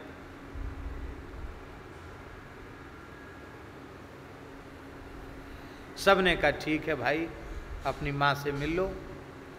हम लोग यहाँ खड़े खड़े तो देख सकते हैं कि नहीं? बोले हाँ अब दूर से दर्शन करो। हनुमान जी गए, मैया के चरणों में अपना मस्तक रखकर प्रणाम किया। अंजना माँ ने हनुमान जी को गोद में ले लिया। मस्तक सूंघा, नेत्रों से प्रेम जल बहने लग गया। बहुत प्रेम से शरीर पर हाथ फिराया और मस्तक सूंघा, कहा, बेटा, इतने दिन बाद क्यों आए हो? पहले तो ये बताओ। हमको बिल्कुल भुला दिया। इतने समय बाद क्यों आए? तो हनुमान जी ने संक्षेप में सारी बात बताई। ऐसे ऐसे भगवान का अवतार हुआ है अयोध्या जी में और भगवान ऐसे पधारे। राक्षसों ने जानकी जी का अपहरण कर लिया, रावण ने कपटपूर्वक और फिर युद्ध हुआ। और पूरी कथा सुनाई और युद्ध हुआ, उसके बाद फिर लंका विजय करके और राम जी आ रहे थे तो अब तक तो फुर्सत ही नहीं मिली। अब जब फुर्सत मिली तो राम जी की आज्ञा लेकर हम आपके पास आए हैं और राम जी भी आपका दर्शन करने आ रहे हैं। तब तक राम जी आ ही गए। हम, हनुमान जी तो मिल लिए थे। तो माँ अंजना हनुमान जी पर प्रसन्न नहीं थी, रुष्ट हो गई। उन्होंने अपनी गोद से हनुमान जी को उतार दिया। और उतार करके, फटकार करके कहा कि मैं तो बहुत आनंद का अनुभव करती थी कि तुम्हारे जैसा पुत्र हुआ है, लेकिन अब मुझे बड़ा पश्चाताप हो रहा है। तुमको जन्म दे करके बताओ, हमारे श्री रघुनाथ जी कितने सुकुमार हैं हैं? उनको इतना कष्ट उठाना पड़ा, युद्ध करना पड़ा, इतनी सेना बंदरों की बटोरनी पड़ी। अरे रावण को मसलने का काम तो तुम्हारे लिए चुटकी जैसा था। तो तुमने क्या, तुम क्या करते रह गए? तुमने हमारे दूध को लजा दिया।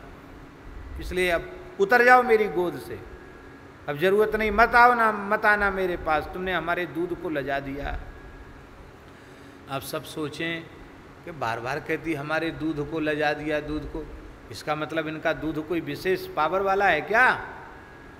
इनके दूध में कोई विशेष शक्ति है क्या? जामवंत जी महाराज ने बीच बचाव किया। माँ आप रोष का शमन करें।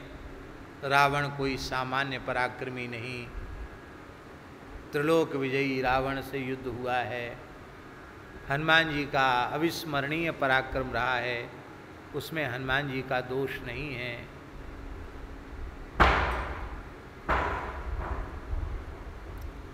तब तक बार बार सबके मन में आ रहा था कि माताजी फिर भी ठंडी नहीं हो रही हैं।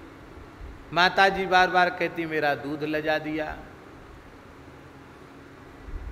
तो इसके दूध में क्या विशेषता है? तो अंजना माता परम सिद्धा हैं।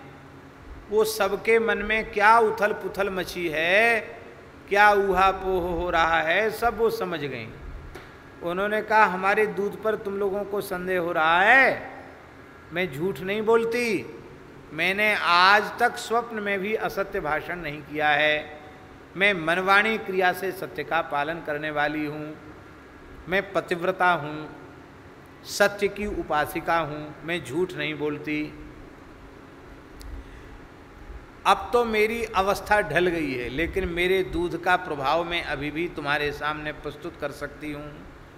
ऐसा कह करके अंजना माता ने अपना पयोधर दबाया, स्तन दबाया और दबाते ही स्तन के एक पिचकारी दूध की निकली और दूध की पिचकारी निकली तो सामने विशाल पहाड़ था। जैसी पहाड़ पर दूध की साठ पिचकारी पड़ी पहाड़ विदीर्ण हो गया चूर चूर हो गया, दो भाग में विभक्त हो गया। अब तो सबने माता के चरणों में प्रणाम किया।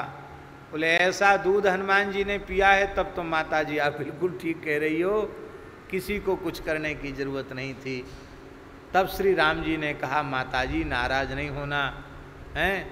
देखो, हनुमान जी का तो एक ही विचार रहता कि हमारा नाम हो, हमारा यश हो, हमारी कीर्ति हो तो ऐसा करते तो हनुमान जी का नाम होता, हमारा तो नाम होता नहीं। इसलिए हमको बड़ा नाम वाला बनाने के लिए, हमको यश प्रदान करने के लिए ये हनुमान जी ने ऐसा किया है। मेरी इच्छा से इन्होंने रावण का वध नहीं किया। ये बात सुनकर माता अंजना प्रसन्न हो गई। हनुमान जी को फिर से गोद में ले लिया।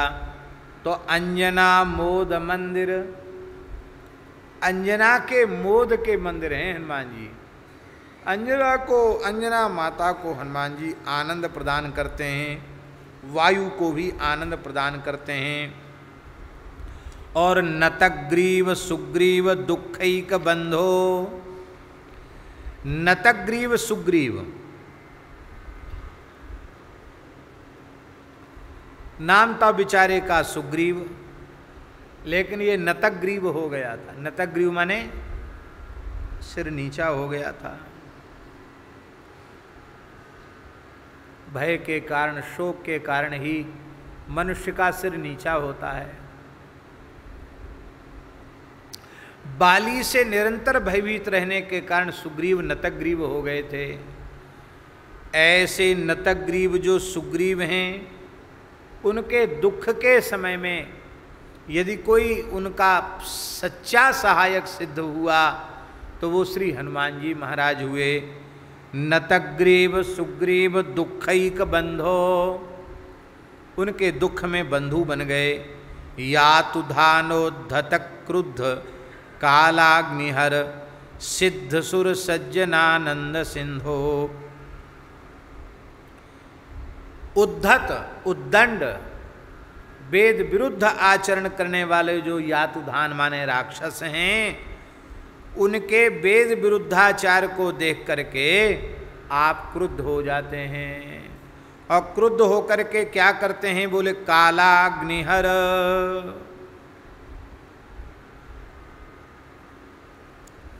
हर माने शिव। कालाग्नि। आप कालाग्नि प्रलयकालीन अग्नि जैसे प्रकट हो, ऐसे अग्नि आप प्रकट कर देते हैं और उनको भस्म कर देते हैं। सिद्ध सुर सज्जनानंद सिंधो।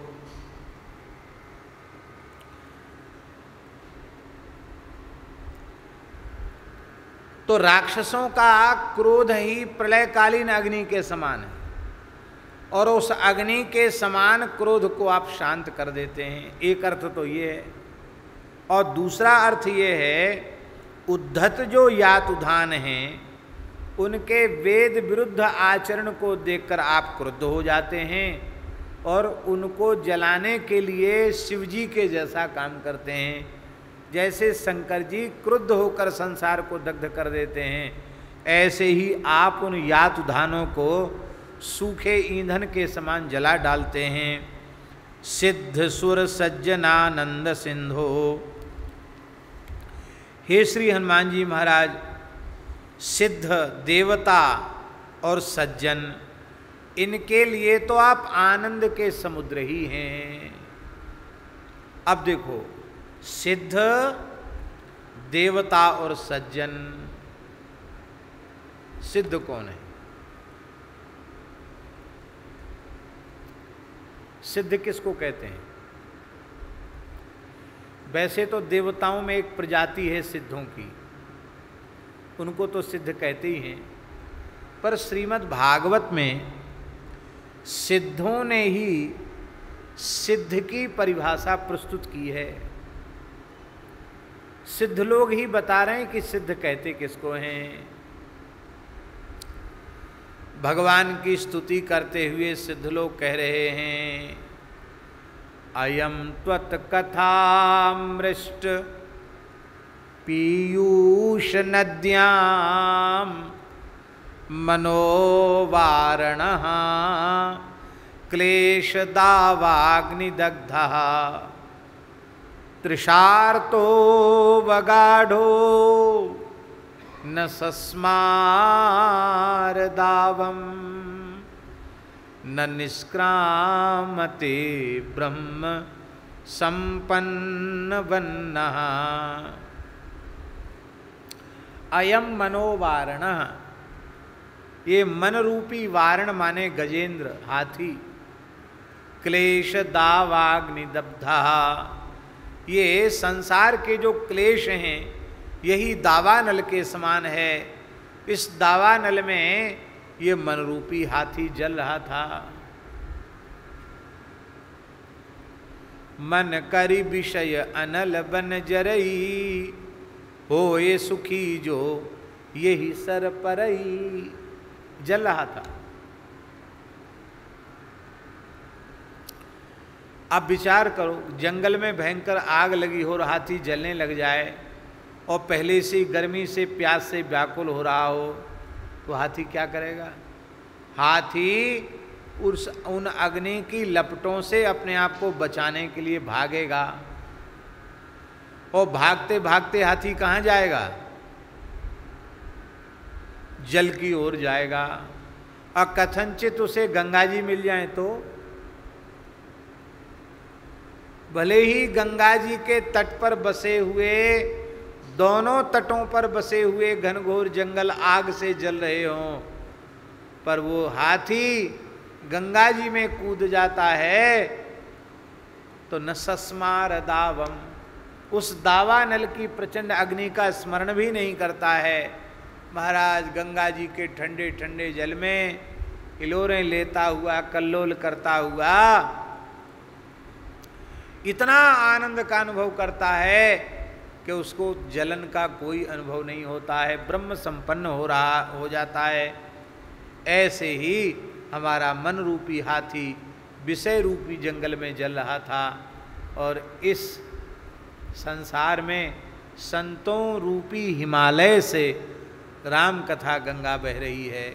इस गंगा में हमने अपने मन रूपी हाथी को डुबा दिया तो हमें इसका संसार के क्लेशों का स्मरण नहीं हो रहा है।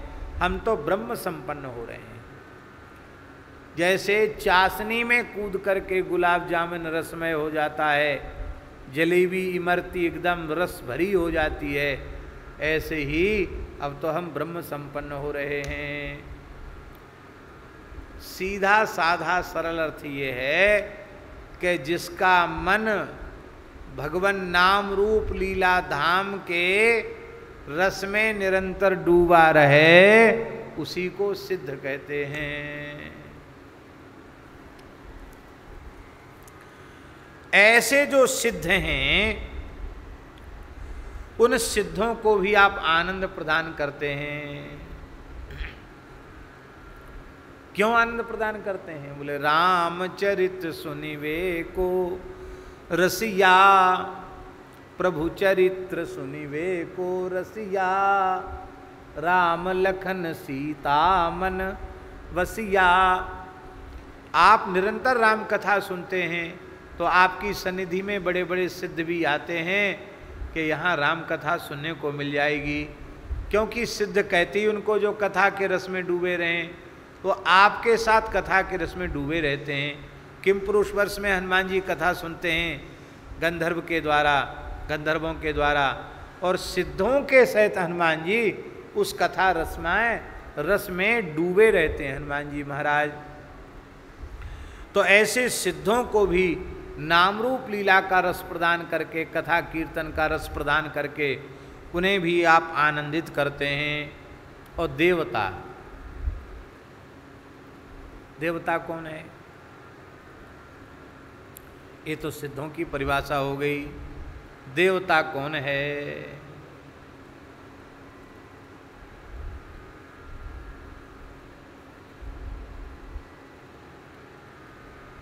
देवता भी देवता नहीं है, यदि भगवान से विमुख है तो।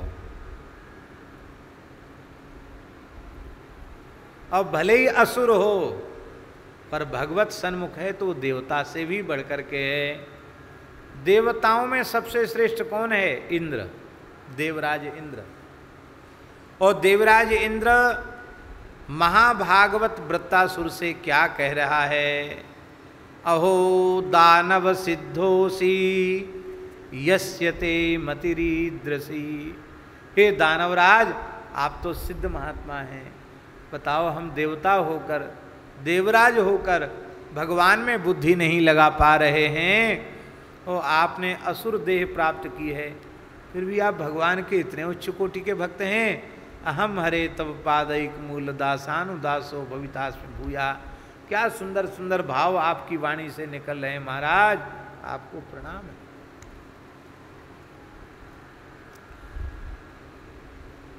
दिव क्रीड़ा बिजगीसा स्वप्न कांति गति इस सब अर्थ में दिव धातु है। हम जिस अर्थ को कहना चाहते हैं वो ये है जो राम जी के साथ खेले, राम जी जिसके भीतर खेलें और जो राम जी के साथ खेले, हैं? जो राम जी जिसके हृदय में प्रकाशित हुए, जो राम जी में रमे और राम जी जिसमें रमे। सच्चा देवता तो वही है। ऐसे जो देवता हैं, उनको आप आनंद देने वाले हैं। आपकी कथा सुनकर वे भी आनंद का अनुभव करते हैं। देवता और कौन? सज्जनानंदकारी। सज्जन। सज्जन कौन है? निर्मल उदास जी। सज्जन कौन है?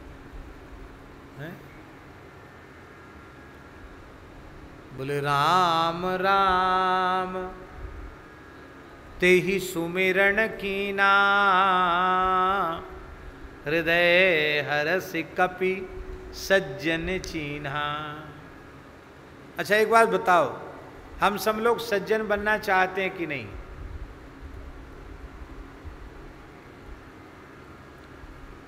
सज्जन बन जाएँगे, सज्जन हो जाएँगे तो बिना हनुमान चालीसा पढ़े भी हनुमान जी रक्षा कर लेंगे। क्योंकि साधु संत के तुम रखवारे, असुर निकंदन राम दुलारे। हम्म? सज्जन कौन है? जो राम राम ते ही सुमिरण कीना। हृदय हरसि कपि सज्जन चीना।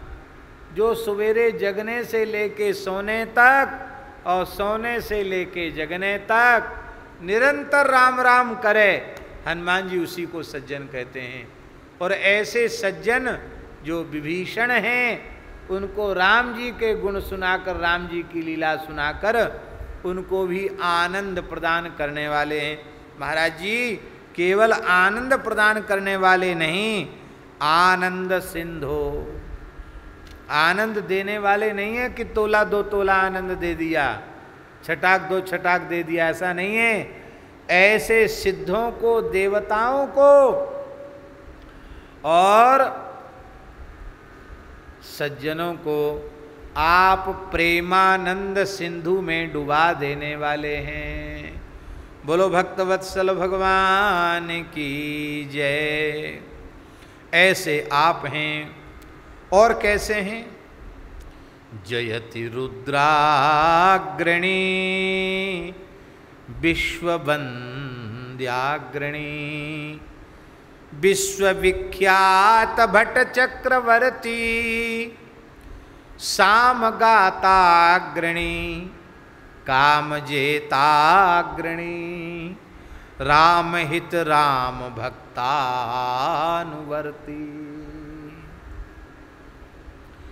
जयति रुद्राग्रणी।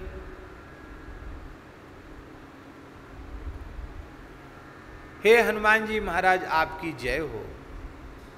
आप तो रुद्राग्रणी हैं।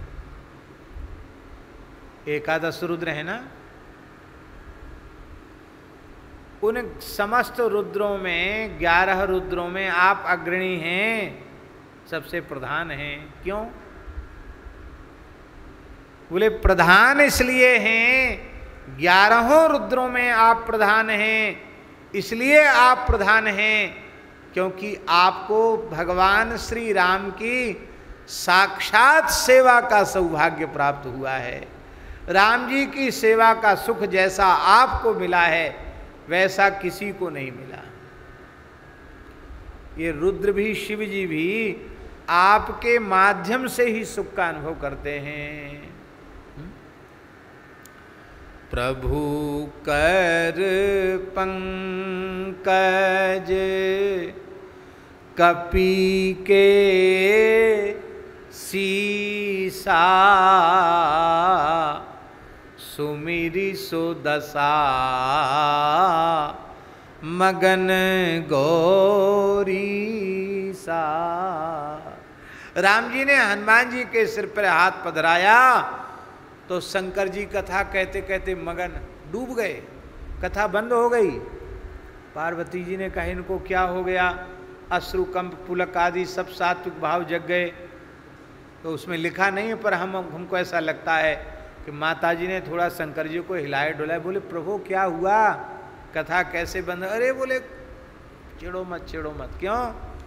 बोले, हनुमान जी के सिर पे राम जी का हाथ है और आनंद का अनुभव मुझे हो रहा है। क्योंकि इसलिए तो मैं हनुमान जी के रूप में आया हूँ कि ऐसे तो राम जी मेरे सिर पे हाथ रखेंगे नहीं, इस रूप में मैं कृतार्थ हो जाऊँगा।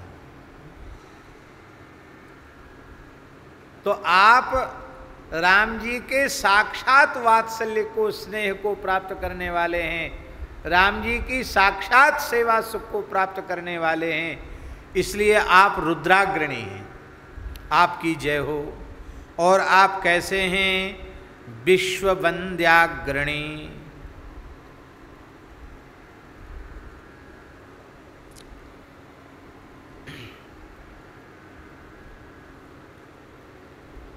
विश्ववंद्य। विश्ववंद्य। इसके दो अर्थ हैं। एक अर्थ तो ये है कि तमाम लोग विश्ववंद्य होते हैं। सारा संसार उनके सामने नतमस्तक है। अरे, सब जगह कहने कहीं किसी किसी ने देवता की पूजा होती कि नहीं? कहीं गणेश जी की पूजा ज़्यादा है, कहीं सूर्य नारायण की पूजा ज़्यादा है, कहीं शंकर जी की पूजा ज़्यादा है, कहीं नारायण भगवान की पूजा ज़्यादा है, और भगवती के क्षेत्रों में चले जाओ। विंध्याचल और कामाख्या आदि, वहाँ भगवती की पूजा ज़्यादा है। ये सब के सब देवता विश्व बंदे हैं। पर हनुमान जी, आप अग्रणी हो। पूरे संसार में जितने मंदिर हनुमान जी के मिलेंगे, उतने मंदिर किसी के नहीं है। मंदिर की भी ज़रूरत कहाँ है महाराज जी? एक पेड़ में सिंदूर चढ़ा दिया। थोड़े दिनों में लोग कहते सिद्ध हनुमान जी पेड़ में प्रकट हो गए, सिंदूर चढ़ा दो। कोई शिला पड़ी हो, शिला कोई स्नान करा के और सिंदूर चढ़ा दो, उपलब्ध हो जाए तो दो आँख और चिपका दो। हनुमान जी प्रकट हो गए। अरे और तो और ईटा। ईटा को सिंदूर चढ़ा के उसमें नेत्र लगा दे तो वही हनुमान जी बन जाते हैं। भले ही मंदिर, गाँव में शंकर जी का, देवी जी का, रामकृष्ण का मंदिर न हो पर हनुमान जी के बिना कोई गाँव नहीं सब गाँव में हनुमान जी का मंदिर ज़रूर होगा। और तीर्थों में जाओ तो वहाँ तो हनुमान जी हनुमान जी। श्री जगन्नाथपुरी में, जहाँ अरुण द्वार से प्रवेश करते हैं, वहाँ भी हनुमान जी हैं। फिर आगे बढ़ेंगे तो हनुमान जी, फिर पीछे द्वार पर जाएँ तो हनुमान जी, इधर द्वार पर, उधर द्वार जिधर जाओ वहाँ हनुमान जी दिखाई पड़ेंगे। कान पाता महावीर। हनुमान जी सबकी समस्या का समाधान हनुमान जी करते हैं। पश्चिम द्वार है ना वो? कान पाता हनुमान जी जहाँ है। पश्चिम द्वार है। तो जगन्नाथ जी बोले कि अब हमको ये जगह छोड़ के जानी जाना पड़ेगा। रुक्मणी जी, लक्ष्मी जी बोली, क्यों? बोले, आपके पिताजी सोने नहीं देते हैं। लक्ष्मी जी के पिताजी जानते हैं ना, समुद्र। इतनी ज़ोर की गर्जना करते हैं कि हम सो नहीं पाते। शोरगुल में नींद कहाँ है सरकार, जाओ तो मत यहाँ से। हनुमान जी का स्मरण किया, हनुमान जी आ गए। क्या समस्या है? माता जी आज्ञा करो। अरे, समस्या क्या है? हमारे पिताजी की आवाज़ ज़्यादा होती, इनको नींद नहीं आती है। अच्छा इतनी सी बात है, कोई बात नहीं। वो हनुमान जी सारे शब्द को पी गए समुद्र के। तो महाराज, वहाँ से ठीक आगे बढ़ो तो समुद्र की गर्जना सुनाई पड़ती है। और मंदिर परिसर में समुद्र की गर्जना नहीं सुनाई पड़ती। मंदिर के बाहर तक गर्जना, आगे पीछे समुद्र की गर्जना। आज भी चमत्कार है, हनुमान जी समुद्र की गर्जना के शब्द को ही पी गए। बेड़ी हनुमान जी हैं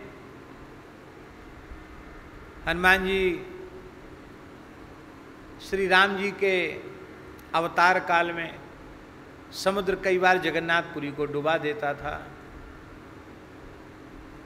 तो शिकायत राम जी के दरबार में पहुँची, महाराज, ये समुद्र तो पूरीवासी शिकायत करने गए। सरकार, ये तो बहुत दुख की बात है।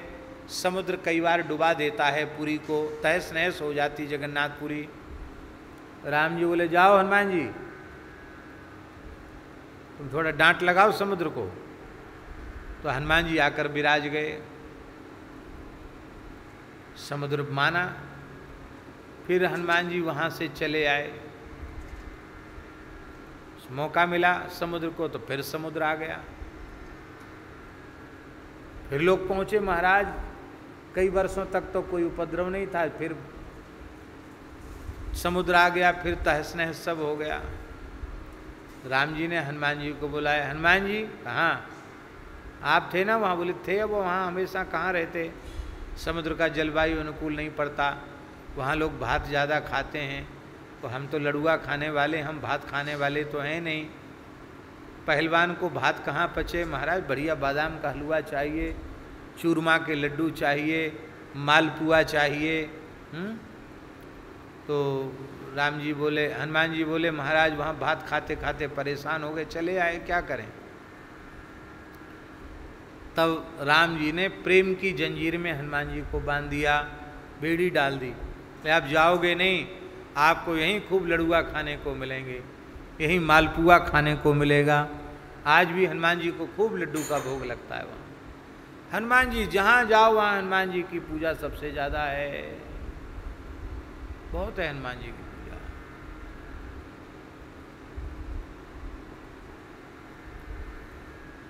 आज भी हनुमान जी के सैकड़ों ऐसे स्थान इस देश में हैं, जहाँ एकदम चमत्कार आज भी प्रत्यक्ष है। और लगता देवी देवता तो थोड़ा तान दुपट्टा सो गए। हनुमान जी जग रहे हैं। सब जगह जागृत हैं हनुमान जी। विश्व बंद्याग्रणी विश्व बंद जो देवता हैं उनमें आप अग्रणी हैं। माने विश्वबंद्य देवताओं में भी सर्वाधिक पूजा यदि किसी की होती है तो आपकी ही होती है। बोलो, हनुमान जी महाराज की। हनुमान जी के विग्रह किन किन देशों में हैं, इसको पढ़ने के लिए गीता प्रेस से प्रकाशित हनुमान अंक पढ़ना चाहिए। उसमें तमाम देशों में भारत के बाहर के देशों में भी हनुमान जी के विग्रह प्राप्त हुए हैं। ऐसी हनुमान जी महाराज की महिमा है। पूज्य श्री रमन रेती वाले महाराज जी के साथ हम श्रीलंका गए थे, राम जी के लीला स्थल देखने।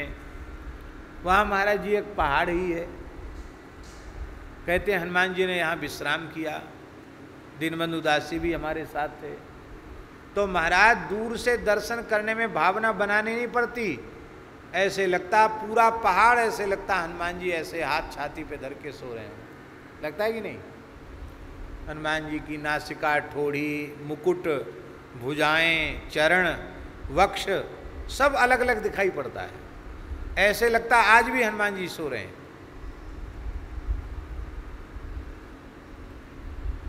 कोई मूर्ति नहीं, पर्वताकार, पर्वत की ही आकृति ऐसी है।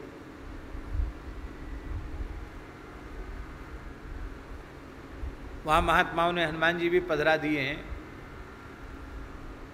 और कोई ज़माना ऐसा भी था कि वहाँ वहाँ के लोग हनुमान जी पधराने का बड़ा विरोध करते थे। कहते रे, जो हमारे यहाँ आग लगाने वाला, उसकी हम पूजा क्यों करें? पर चलो हम पूछते हैं, चलो आप आग लगाने वाला मान के पूजा न करो, पर पूरा पहाड़ का पहाड़ हनुमान जी के स्वरूप में है, उसको आप क्या करोगे? आपकी सर्वत्र पूजा है और दूसरा अर्थ है विश्व बंद्याग्रणी विश्व बंदे कौन है? विश्व बंद माने सर्वत्र जिसकी पूजा होती हो, सर्वत्र जिसकी वंदना होती हो, उसको विश्व बंदी कहते हैं। विश्व बंदी कौन होता है? राजा। राजा नहीं होता। विश्व बंदे कौन होता है? स्वदेशे पूज्यते राजा। विद्वान सर्वत्र पूज्यते। राजा की पूजा अपने राज्य की सीमा में होती है। जहाँ का वो राजा है, वहाँ उसकी पूजा होगी। और विद्वान सर्वत्र पूज्यते। विद्वान की पूजा सब जगह होती है। एक महात्मा हैं, हमारे बड़े प्रेमी। अब बहुत समय से उनका दर्शन नहीं हुआ। कुछ ज्योतिष भी जानते हैं। हाथ वाथ देखना भी जानते हैं। तो कुछ महात्माओं की जमात थी, त्यागी तपस्याओं की जमात।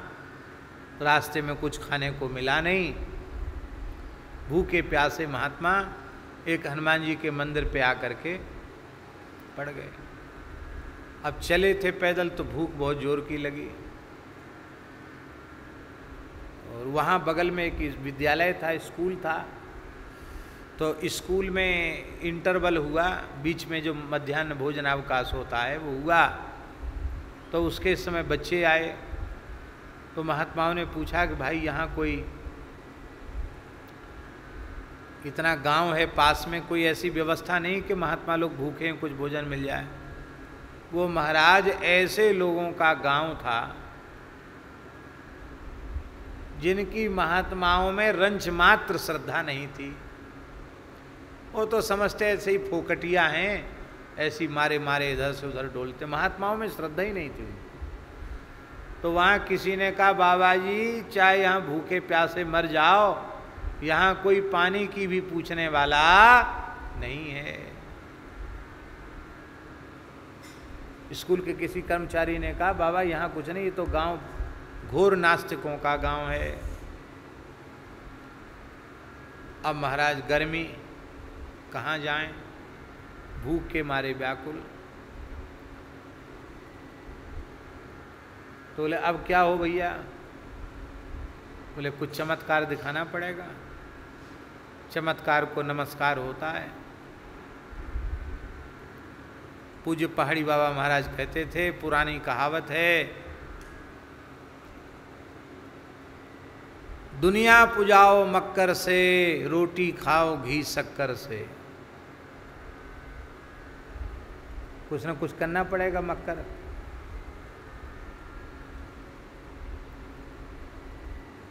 एक लड़के को बुलाया, ए, इधर आ बेटा, इधर आ।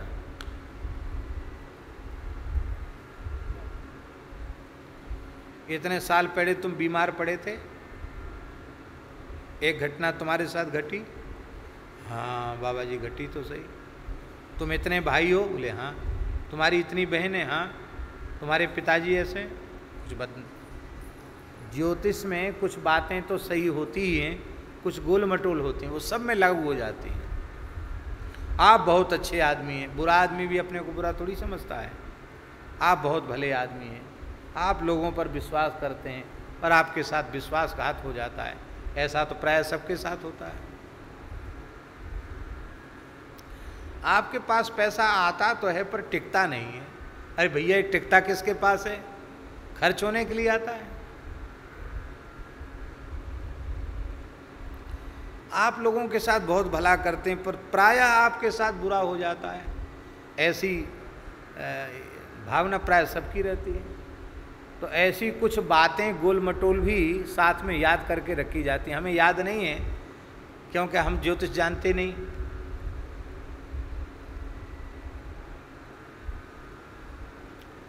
बाकी ज्योतिष ऐसी विद्या है, हस्तरेखा तो उसमें आपको कहीं जगह ना मिल रही हो, वहाँ जगह मिल जाए। हमारे बाबूजी बता रहे थे, जगदीश बाबूजी, बोले, हम ट्रेन में जा रहे थे, कहाँ से? हाँ कलकत्ता से पूरी। बोले, हमारा साधु संत का भेष देख के और अब वैसे सामान्य टिकट ले रखा था। कुछ घंटों का रास्ता। तो बोले बाबा जी हाथ वाथ देखना जानते हो? और वो तो बेचारे कहाँ जाने हाथ देखना? तो बाबूजी तो चतुर तो है ही हैं आखिर तो एक मारवाड़ी वैश्य हैं और वयोवृद्ध वही हैं उन्होंने करे हाथ मुँह का दिखाते हो हमको बैठने की जगह है, है नहीं? तुम लोगों में इतनी भी इंसानियत नहीं कि एक बुज़ुर्ग खड़ा है और तुम बैठने को हाँ नहीं नहीं बाबा जी बैठ जाओ बैठ जाओ बैठ जाओ। फिर बोले महाराज हाथ देखना पड़ेगा। तो इधर उधर की बात करते रहे बैठने की जगह मिल गई। हमसे बोले महाराज जी हम्म, हमने हाथ देखना तो नहीं जानते पर वो हाथ वो सामने कर दिया तो कहा आपकी भाग्य रेखा बहुत अच्छी है आप ये हैं आप वो हैं। दो चार बात मीठी मीठी बताएँ अरे बाबा जी आप तो बिल्कुल सही बोल रहे हो यही बात ठीक है। बोलो भक्त वत्सल भगवान की ऐसा हो जाता है। वो महात्मा तो जानकार थे, उन्होंने कुछ बातें सही सही बताई। अब वो बच्चे ने जाकर के मास्टर जी से कहा, मास्टर हेड मास्टर सब आ गए। ले हमारा हाथ देखो, हमारा हाथ देखो। अब महात्मा ने मक्कर दिखाया, ओ, ज़ोर से डांटा। इतने महात्मा भूखे प्यासे यहाँ पड़े हैं, कोई पानी की पूछने वाला नहीं है, और खाली हाथ पाँव दिखाते हो पहले महात्माओं की सेवा करो, फिर सबका भूत भविष्य देखा जाएगा, सबको बताया जाएगा। महाराज क्या लाएँ? तुरंत महाराज दूध आ गया, मिठाई आ गई, फल आ गया वो सब आ गया महाराज जी। और सब प्रेम से खाए पिए, तब तक स्कूल का समय पूरा हो गया, महात्मा रात भर हुए, सवेरे चले गए। तो अब ये क्या, विद्वान सर्वत्र पूज्य थे। यदि वो विद्या उनमें न होती तो सब लोग भूखे ही रह जाते। विद्या प्रच्छन्न धन है, गुप्त धन है। विद्या विद्या राजसु पूज्यते नहीं धनम। विद्या विहीनो विहीन पशु। विद्या विहीन को पशु कहते हैं। और हनुमान जी विश्व बंद्याग्रणी ज्ञानी नाम अग्रगण्यम। विद्वानों में, ज्ञानियों में श्री हनुमान जी अग्रगण्य हैं। और कैसे हैं हनुमान जी? विश्वविख्यात भट्ट चक्रवर्ती। हनुमान जी विश्वविख्यात भट्ट हैं। विश्वविख्यात भट्ट ही नहीं है, भट्ट चक्रवर्ती। विश्वविख्यात तो रावण भी था। विश्वविख्यात तो और भी तमाम असुर हुए। पर इन सब विश्वविख्यातों के चक्रवर्ती सम्राट हैं हनुमान जी। इसका मतलब है, हनुमान जी से अधिक बलवान और कोई दूसरा न भूतो और न भविष्यति। हनुमान जी के जैसा बलवान न कोई हुआ, न आगे होने वाला है।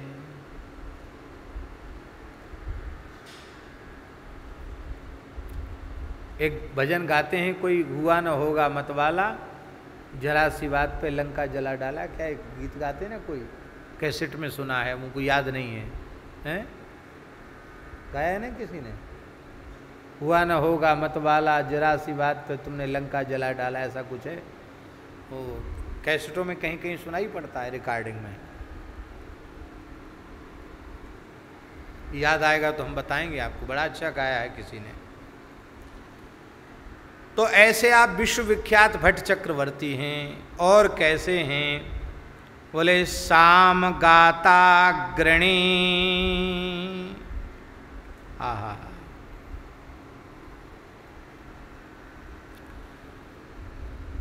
सामवेद का गान करने वालों में हनुमान जी सबसे श्रेष्ठ हैं। संपूर्ण वेद छह अंगों के सहित हनुमान जी को कंठस्थ है। षडंग वेद विदुष हनुमान जी और उसमें साम गान करने में तो हनुमान जी से बढ़कर कोई दूसरा है ही नहीं।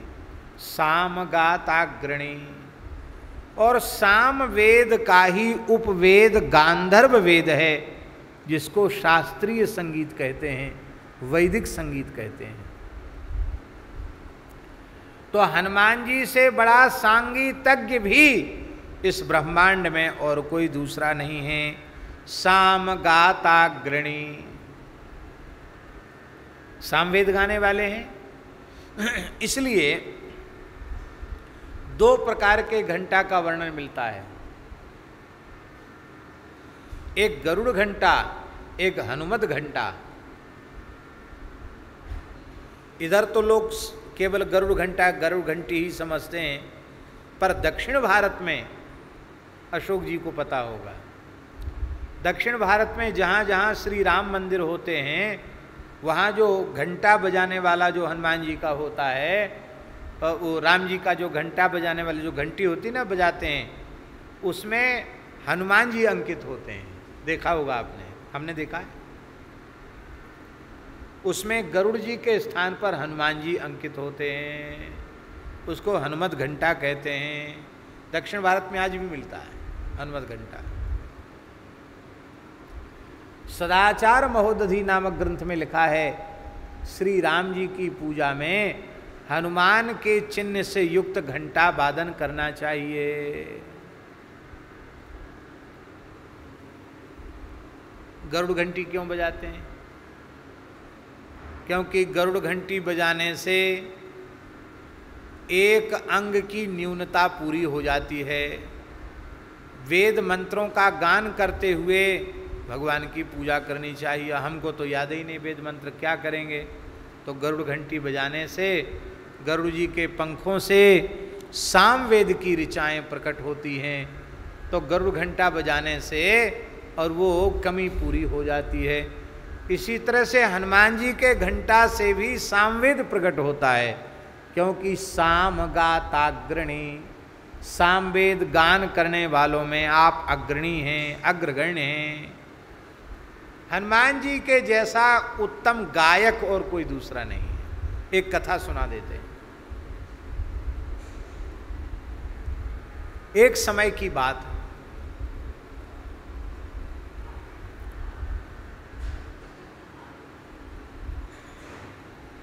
भगवान श्री हरि, कथा तो लंबी हम छोटी करके सुना रहे हैं। भगवान श्री हरि श्रीमन नारायण और भगवान सदाशिव दोनों को ही स्वप्न हुआ। स्वप्ना, स्वप्न हुआ। भगवान नारायण ने स्वप्न में क्या देखा? कर्पूर के समान जिनका गौर वर्ण है, चंद्रमा और कुंद की कली की कांति भी, श्वेत संख की कांति भी विलज्जित हो रही है। ऐसे भगवान शिव, नीलकंठ भगवान शिव, लाल लाल जिनके चरण कबल हैं हैं और सुंदर जिनके करतल हैं, अखंड भस्म रमाए हुए हैं। ऐसे भगवान शिव, व्याल यज्ञोपवीति भगवान शिव, कमल दल जिनके नेत्र हैं, बड़ी सुंदर मंद मुस्कान है। और वे भगवान शिव शाम्भवी मुद्रा में, ध्यान की मुद्रा में बैठे हैं। गंगा उच्छलित हो रही हैं, जटाओं पर चंद्रमा है। बड़ी सुंदर भगवान शिव की शोभा हो रही है। ऐसा दर्शन भगवान नारायण को स्वप्न में शंकर जी का हुआ। और शंकर जी को दर्शन हुआ। भगवान नारायण शेष पर्यंक पर विराजे हैं, पद्मासन से बैठे हैं। बड़ी सुंदर भगवान का मेघ श्यामल कोमल श्री अंग है। पीताम्बर धारण किए हुए हैं, चौड़ी लाल किनारी है। लाल लाल चरण तल हैं, ध्वज, अंकुश, वज्र आदि के चिन्ह से ही सुशोभित हैं। चार भुजाएँ हैं दो भुजाएँ ऐसी अंक में रख कर के भगवान ध्यान की मुद्रा में बैठे हैं। दो भुजाओं में शंख चक्र है। और मुस्कुरा रहे हैं, आनंद में विभोर हो रहे हैं। ऐसे भगवान को, ऐसे भगवान को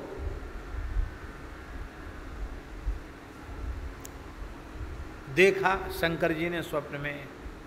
तो दोनों ही देवता जब नेत्र खोले अरे बोले, आज तो भगवान की बड़ी याद आ रही है, चलकर प्रत्यक्ष दर्शन करना चाहिए। तो वैकुंठ से भगवान नारायण चल पड़े, अथवा चीर सिंधु से कहो, भगवान नारायण चल पड़े, और कैलाश से शंकर जी चल पड़े, और दोनों चले महाराज एक ही मुहूर्त में, और दोनों का मिलन मानस सरोवर पर हो गया। मान सरोवर है ना, उत्तराखंड में, वहाँ दोनों का मिलन हो गया। अब तो महाराज परस्पर दोनों की दंडोत प्रणाम हुई। एक दूसरे का प्रेम से प्रगाढ़ आलिंगन किया। और महाराज जी, आलिंगन करने के बाद अब दोनों देवता मित्र तो है ही हैं। हरिहर का सख्य प्रसिद्ध है। दोनों देवता मानसरोवर के जल में उतर गए। जल में खेलने लग गए, तैरने लग गए। जलक क्रीड़ा करने लग गए। महाराज जी जल क्रीड़ा भी एक बड़ा सुख देने वाली होती है, जिसको जल में जल प्रिय जो होते हैं, उनको बड़ा सुख मिलता है जल में तैरने में। यद्यपि तीर्थ में ज़्यादा उछल कूद नहीं करनी चाहिए, लेकिन अब ज़्यादा आनंद होता है तो जल में खूब तैरने का मन करता है। हम भी अपने को संयमित नहीं रख पाते हैं जल को देख करके। आज सवेरे पीरी पोखर में स्नान हुआ। बरसाने में पीरी पोखर। पीरी पोखर जहाँ श्री वृषभानु लाडली राधा रानी ने विवाह के पूर्व जो उनको मेहंदी रचाई गई थी और हल्दी चढ़ाई गई थी तो हल्दी चढ़ी था, हल, हल्दी तेल चढ़ाया गया था, उबटन लगाया गया था तो राधा रानी ने अपने चरण और हाथ वहाँ धोए और अपने उबटन को वहाँ धोया। तो वो पीरी पोखर जो है ना, वो श्री जी की अंगकांति से युक्त है। अंगराग का विमोचन वहाँ हुआ है। बड़ी महिमा है पीरी पोखर की।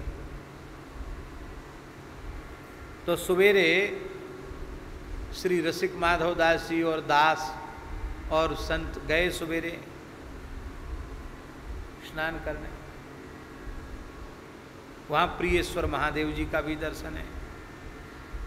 तो यद्यपि बाद में हमको याद आया कि हमको ऐसा नहीं करना चाहिए था, लेकिन जैसे ही जल देखा तो दंडोत प्रणाम करके बुर्ज से ही छलांग लगा दी।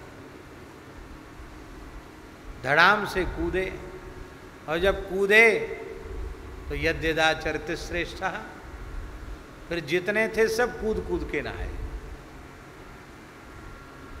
फिर हमने प्रार्थना की, भाई यहाँ कुछ कचड़ा उचड़ा हो रहा है लोग पन्नी वगैरह डाल दिए इसको थोड़ा सफ़ाई भी करो। संतों ने सफ़ाई भी किया वहाँ। तो जल क्रीड़ा का भी एक सुख है, कहने का मतलब ये है। याद आ गया हमको सब जटा गीले हैं हमारे, इसलिए खोल दिया। तो महाराज, हरिहर का सख्य प्रसिद्ध है। जल को जैसे ही देखा, दोनों ही जल प्रिय सात्विक लोग जलप्रिय होते हैं। आसुरी वृत्ति वाले लोग उनको पानी से बहुत घबराहट हो। तो जल, पुष्प, चंदन, ये सब सात्विक पदार्थ हैं, पवित्र पदार्थ हैं। इसलिए पवित्र आत्माओं को ये प्रिय होते हैं। भगवान का खूब अभिषेक होता कि नहीं होता? और शंकर जी तो जलधारा प्रियो शिवा। शंकर जी तो जलधारा प्रिय है ही। तो दोनों देवता पानी बरस रहा है क्या? वाह। है?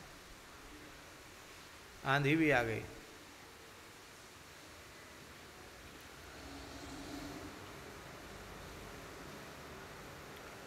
श्री वृंदावन बिहारी लाल की जय।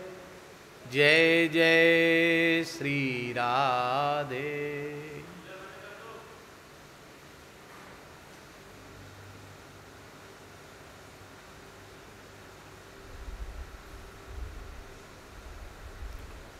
तो भगवान की दया से क्या हुआ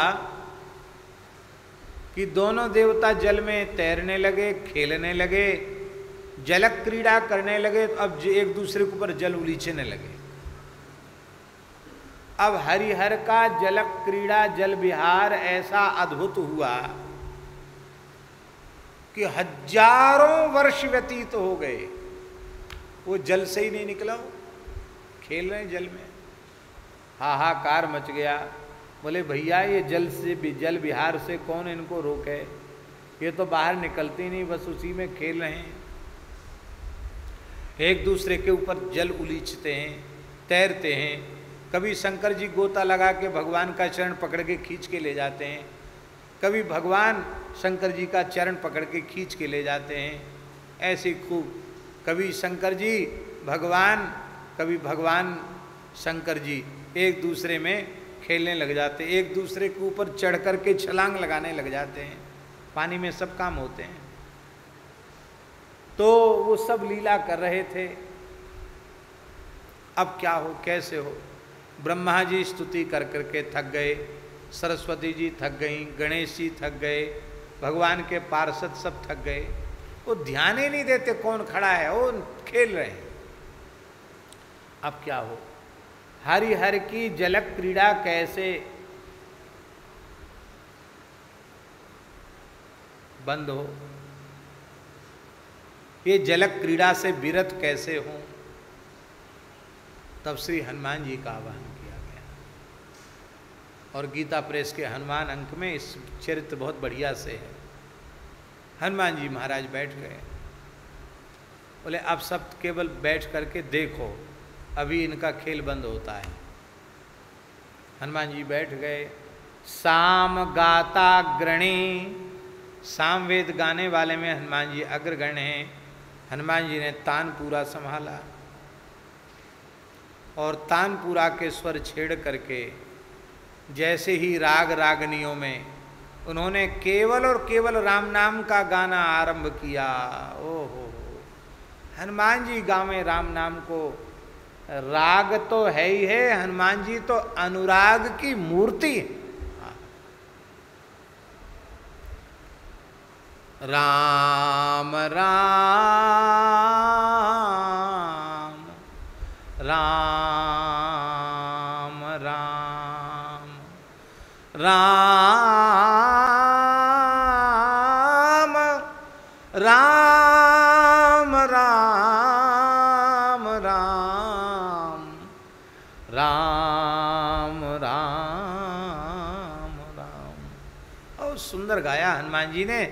ऐसा सुंदर राम नाम गाया कि उस संगीत को भगवान नाम को सुन करके भोले बाबा तो व्याकुल हो गए। इतना प्यारा नाम कहाँ से सुनाई पड़ रहा है? व्याकुल हो गए तो खेल बंद हो गया। भगवान भी सुनने लग गए। सब हनुमान जी का संगीत सुनने में मस्त हो गए। और फिर हनुमान जी ने राम नाम का कीर्तन सुनाकर दोनों देवताओं को जलक क्रीड़ा से विरत किया। ऐसे हनुमान जी गायक हैं कि इनके संगीत से हरिहर भी मोहित हो जाते हैं, हरिहर को भी नचा देते हैं। ऐसे हनुमान जी साम गाताग्रणी। और कैसे हैं हनुमान जी? काम जेताग्रणी। काम को जीतने वाले जितने भी हैं, उनमें अग्रगण्य हनुमान जी हैं।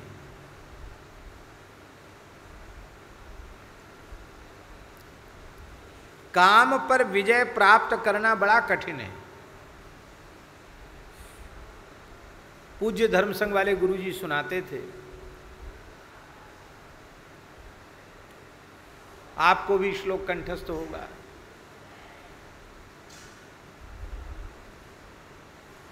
विश्वामित्र पराशर प्रभृत बातांबु पर्णाशना विश्वामित्र पराशर आदि ऋषि। कोई केवल हवा पी के रहते, कोई केवल जल पी के रहते, और कोई केवल पत्ते चबा कर रहते। बाताम्बु पर्णासना।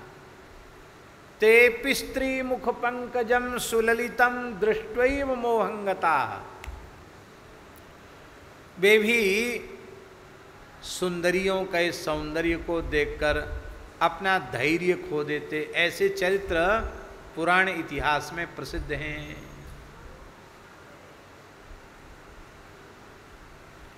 हमारे पूज्य पहाड़ी बाबा महाराज तो कहते थे कि एक सिद्ध पुरुष थे।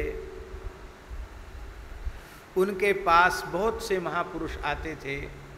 तमाम साधक आते थे। स्त्री पुरुष, हर जाति के, हर वर्ग के लोग आते थे।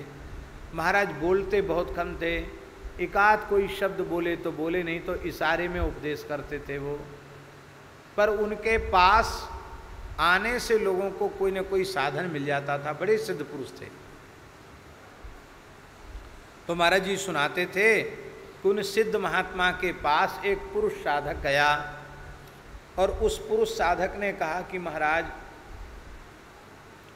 आपकी कृपा से, आपकी पावन प्रेरणा से मैं साधन में तो प्रवृत्त हूँ, पर इसमें सबसे परेशान काम विकार से हूँ।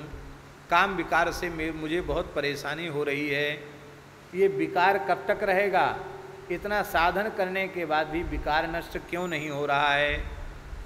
तो महात्मा मुस्कुराए। और मुस्कुरा करके ऐसे इशारा किया। ऐसे सारा इसलिए कि राम राम करते रहो। ज़्यादा इसके पीछे मत पड़ो कि ये नहीं हुआ वो। राम राम करो, जितना कर सकते हो करो। क्यों? बोले, ये बंद होने वाला नहीं है। क्यों? तो उन्होंने, महात्मा ने क्या किया? भिक्षा वहाँ रखी थी, आटा। तो एक मुट्ठी आटा ऐसे दिखाया। महाराज जी के मुखारबिंद से सुनी बात सुना रहा हूँ। उन महात्मा ने कहा 24 घंटे में एक मुट्ठी आटा भी फांकते रहोगे तो ये विकार से परेशान रहोगे। अन्न खाओगे तो कुछ न कुछ तो इंद्रियों में बल बढ़ेगा, विकार तो आएगा। थोड़ी देर बाद एक नारी साधिका आई। उसने कहा, महाराज, मैं साधन तो आपकी प्रेरणा से करती हूँ, पर मैं भी इसी विकार से बहुत परेशान हूँ। क्या करूँ? ये कब जाएगा? तो महात्मा ने उनको भी इशारा किया, माला जपो, राम राम करो, जाएगा नहीं। क्यों? तो उनके धूना सामने जल रहा था, धूना की एक मुट्ठी राख उठाई। और मुट्ठी राख उठा करके कहा, जब तक मुट्ठी भर राख नहीं बन जाओगी तब तक रहेगा। बोलो, वृंदावन बिहारी, क्योंकि शास्त्रों के अनुसार पुरुष की अपेक्षा नारियों के देह में काम की प्रबलता दस गुनी अधिक होती है। इसलिए महात्मा ने कहा तो मुट्ठी भर राख बन जाओ तो भी विकार तो रहेगा, इसलिए भजन करो। भजन से ही सारे विकार नष्ट होते हैं। और देखो, इस कराल कलिकाल में राम नाम का जप करके तमाम महात्मा निर्विकार हो गए। इसका मतलब है, आप इसके पीछे मत पड़ो, आप राम नाम के पीछे पड़ जाओ। राम नाम के पीछे पड़ जाओ तो हरि नाम ही आपको निर्मल बना देगा, निष्काम बना देगा, निर्दोष बना देगा। भगवान के नाम में अचिंत्य अनंत सामर्थ्य है। सारे विकारों को सर्वथा समाप्त करने की सामर्थ्य यदि किसी में है तो भगवान के महा महा महिमामय नाम में। हनुमान जी काम जेताग्रणी काम विजय प्राप्त करने वालों में हनुमान जी अग्रगण्य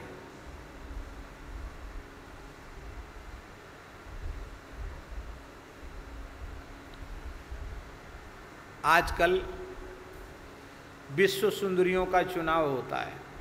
होता है।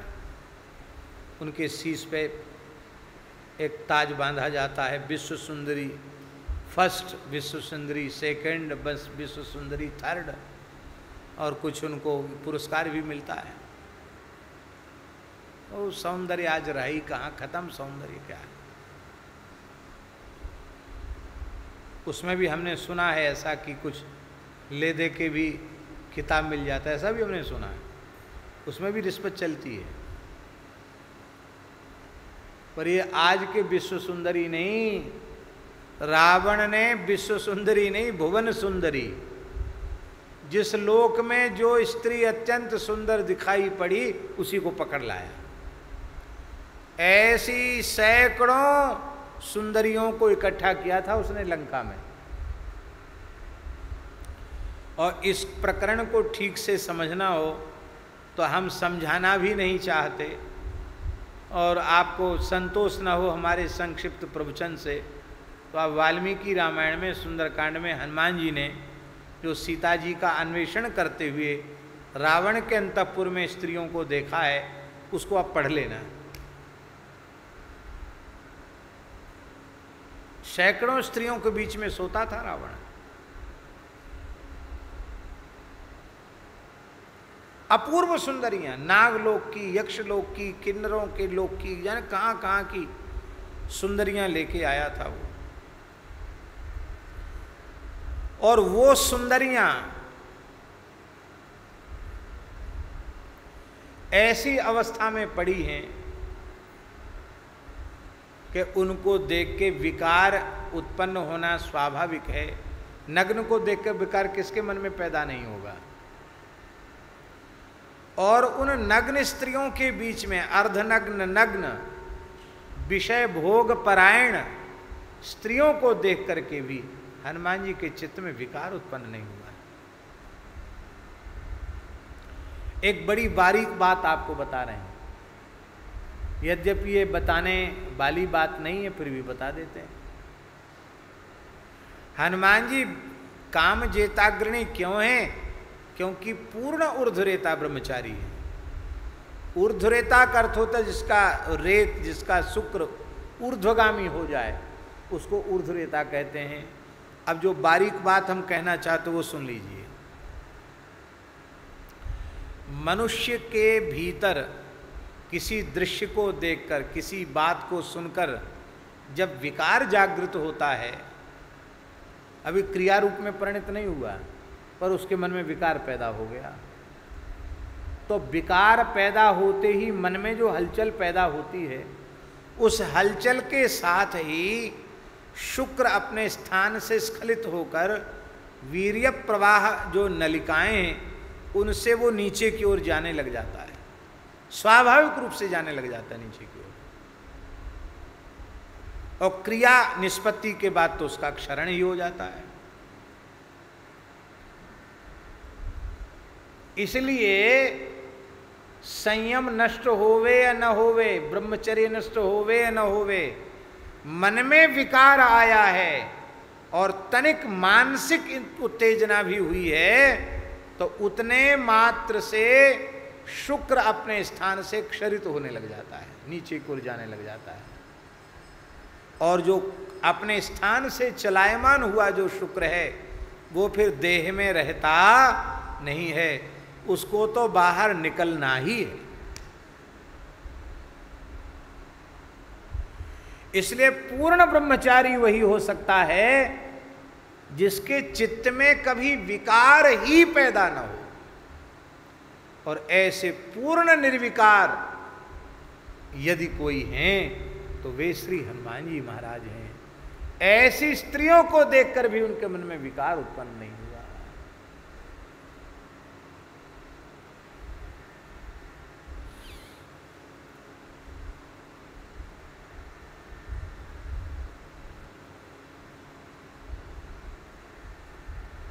बोलो, वृंदावन बिहारी, लाल की जय। काम जेताग्रणी। इसलिए हनुमान जी के स्मरण से काम बाधा नष्ट होती है, ऐसा हमारे शास्त्रों में लिखा है।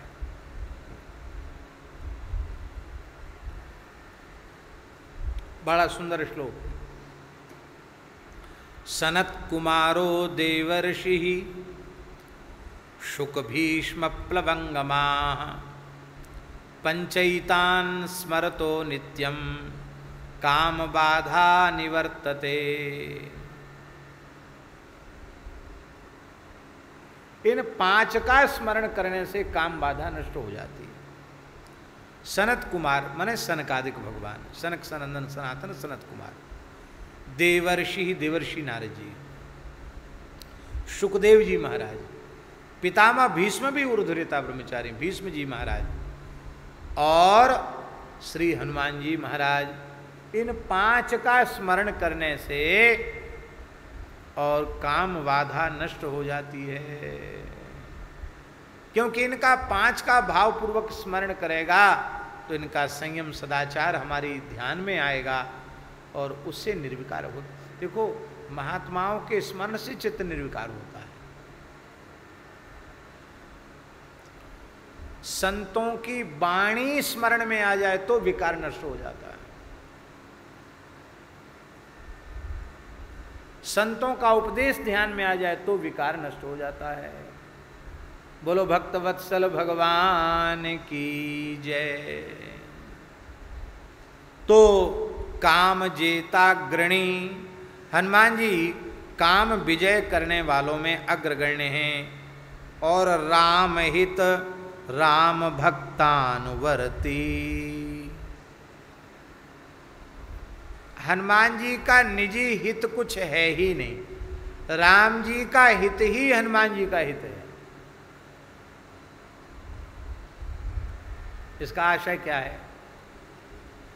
इसका आशय यह है कि जिस सेवक ने,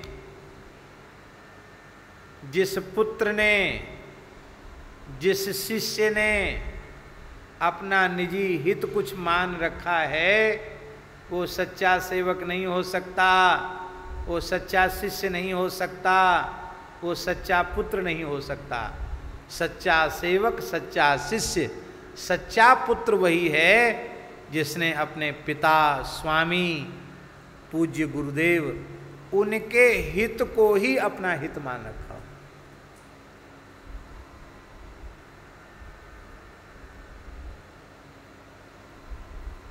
राम जी ने कहा, भरत जी, तुम जो कहो, सो हम मानेंगे, कहो। भरत बोले रे राम राम, आप क्या बोलते हैं? है? आपको संकोच में डालकर हम अपनी इच्छा की पूर्ति कराएँगे? हमारा हित कहाँ है? जे ही विधि प्रभु प्रसन्न मन होई, करुणा सागर कीजिए सोई। हनुमान जी का अपना हित है ही नहीं। राम जी का हित, राम जी की राम जी का भला जिसमें हो, वही हनुमान जी का है।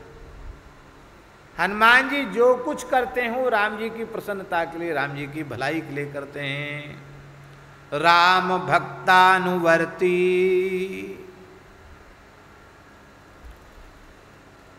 श्री राम जी के जो भक्त हैं, उनके आप अनुवर्ती हैं।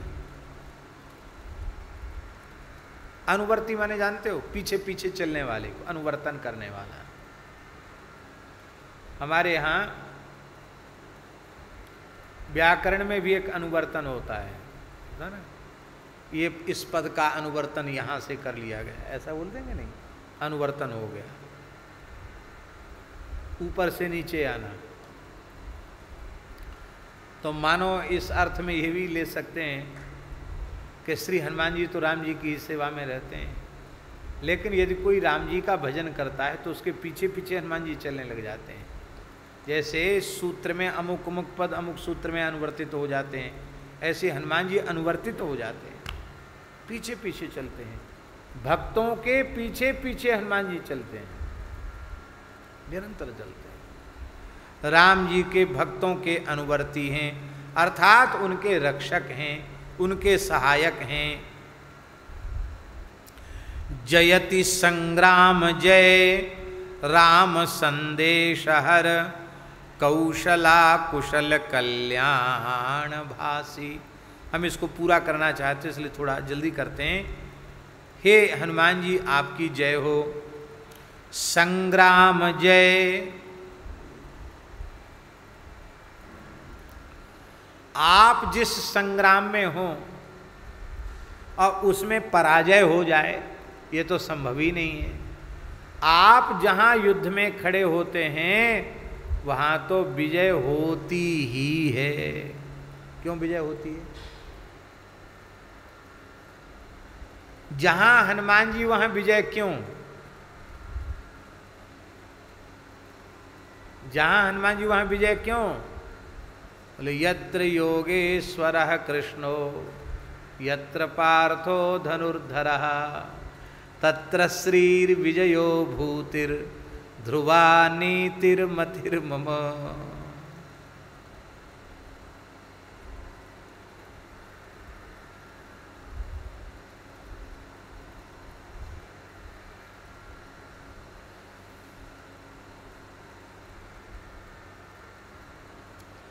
अब इसको ये भी कर सकते हैं। यत्र योगेश्वरो राम, यत्र हनुमान गदाधर। तत्र श्रीर विजयो भूतिर ध्रुवा नीतिर मतिर्मम। जहाँ राम जी हैं जहाँ हनुमान जी हैं वहाँ तो विजय होनी ही है, है? क्योंकि रामो विग्रहवान धर्म। और जहाँ धर्म रूप श्री राम हैं वहीं हनुमान जी हैं। जहाँ हनुमान जी हैं वहीं धर्म है। जहाँ धर्म है वहीं राम जी हैं। और जहाँ राम जी हैं वहीं विजय है। जहाँ हनुमान जी हैं वहीं विजय है। बोलो, श्री विजय हनुमान जी महाराज की। हनुमान जी का एक नाम विजय हनुमान है। राम संदेश हर। राम जी का संदेश श्री जानकी जी को सुनाने वाले हैं। कौशला कुशल कल्याण भासी। अयोध्या के लोग विरह की आग में जल रहे थे। राम जी आए तो राम जी ने सबसे पहले हनुमान जी को ही तो भेजा कि भरत जी को जाकर हमारे आगमन की सूचना दो। तो अयोध्या वासियों को कुशल सुनाने वाले हनुमान जी हैं। को तुम तात कहाँ ते आए? मोही परम प्रिय बचन सुनाए। हनुमान जी सबको आनंद देते हैं। राम बिरहारक संतप्त भरतादि नर नारी। शीतल करण कल्प शाखी राम रूपी विरह के वही जेठ की ऋतु है, वही प्रचंड धूप से संतप्त भरत आदि अयोध्या के जो नर हैं, उनको सुंदर श्री राम जी के चरित्र के चरित्र रूपी जल की वर्षा करके सबको ठंडा कर दिया आपने। राम जी की कथा सुना करके, और आप कैसे हैं कल्प शाखी कल्प शाखी आप कल्प शाखी माने शाखा, अस्यास्तित शाखी। आप कल्प वृक्ष हैं, हनुमान जी के पास जाओगे, जो चाहोगे सो मिल जाएगा। कल्प साखी हैं। एक दूसरा अर्थ भी है कल्प साखी का। इस पूरे कल्प के साक्षी हनुमान जी हैं। साक्षी साक्षी भी है। साखी माने साक्षी हनुमान जी हैं। क्योंकि हनुमान जी अष्ट चिरजीवियों में हैं। अश्वत्थामा बलरिव्यासो हनुमाश्च विभीषण, कृप परशुरामश्च सप्तते चिरजीविन। सप्ततान संस्मरे नित्यम मार्कंडेय मथाष्टम जीवेद शतम सोपी सर्वव्याधि विवर्जिता उनमें हनुमान जी की गणना है कल्प शाखी और कैसे हैं हनुमान जी? जयति सिंहासनासीन सीता रमण। निरख निर्वर हर्ष नृत्यकारी। हे हनुमान जी महाराज, आपकी सदा ही जय जयकार हो। जब सरकार अयोध्या पधारे उवटन हुआ, उनका महाभिषेक हुआ और दिव्य रत्न सिंहासन वशिष्ठ जी ने बुलाया। सिंहासन विराजमान किया गया और सिंहासन पर जब श्री रघुनाथ जी विराजमान हो गए, बामांग में श्री किशोरी जी विराजमान हो गई और जैसे ही प्रथम तिलक वशिष्ठ मुनि कीन्हा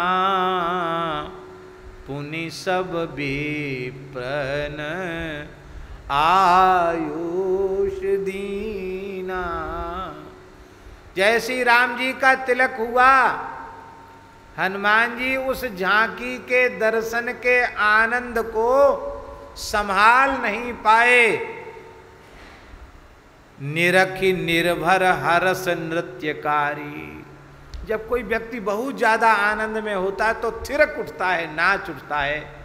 हनुमान जी, सीताराम जी को सिंहासनासीन देख करके हनुमान जी महाराज नृत्य करने लग गए। महाराज जी, भक्त तो नृत्य करते ही बिलज उदगायत नृत्य तेज मदभक्ति युक्त भुवनम पुनाति। मेरी भक्ति से युक्त जो होते हैं वो तो त्रिभुवन को पवित्र कर देते हैं। महाराज, नाचने की भी बड़ी महिमा है। बोलो, भक्त वत्सल भगवान की जय। जय जय श्री राधे। श्री राम जय राम, जय जय राम। श्री राम जय राम जय जय राम। श्री राम जय राम। जय जय राम। श्री राम जय राम। जय जय राम। श्री राम जय राम। जय जय राम।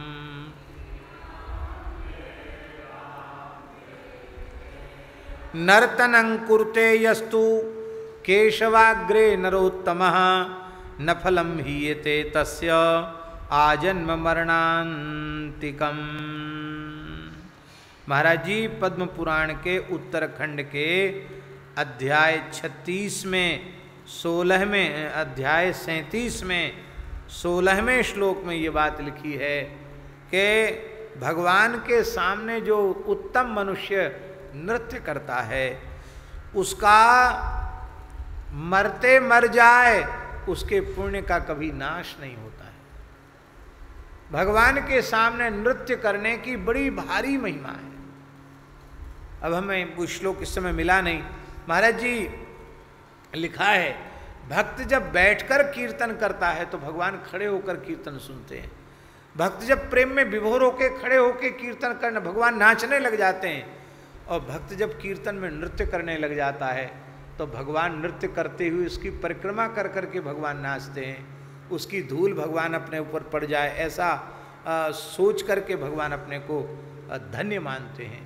इतना प्रेम करते हैं भगवान नृत्य करने वाले। नृत्य करना बहुत ऊँची भक्ति है भगवान की। तो हनुमान जी और लोग महाराज थोड़े से कुछ पढ़ लिख जाएँ थोड़ा कोई बड़ा पद हो जाए अरे बोले नाच नहीं नाचेंगे नहीं नाक कट जाएगी हमारी। हनुमान जी से बड़ा कोई विद्वान है, हनुमान जी से बड़ा कोई विश्व बंदे है, इतने इतने विशेषण हनुमान जी के आप सुन रहे हैं, और वो हनुमान जी नाचने लग जाते हैं। आनंद में विभोर होकर के, पैर में घुंघरू बाँध करके, हाथ में करताल लेकर नाचने लग जाते हैं। राम सम्राज शोभा सहित सर्वदा, तुलसी मानस रामपुर बिहारी। और राम जी के अयोध्या में सिंहासन पर अविराजित श्री रघुनाथ जी को आ, का दर्शन करके आप आनंदित तो होते हैं। गोस्वामी जी कहते महाराज ऐसे ही है हनुमान जी महाराज आप हमारे हृदय रूपी अयोध्या में अपने सरकार के सहित विराजें और ऐसे ही आप नाचते रहें हमारे हृदय में। बोलो श्री हनुमान जी महाराज की यहीं आज अपने वक्तव्य को हम पूर्ण करते हैं और आगे भगवत कृपा से कल हम चर्चा करेंगे। श्री राम जय राम, जय जय राम। श्री राम जय राम। श्री हनुमान जी महाराज की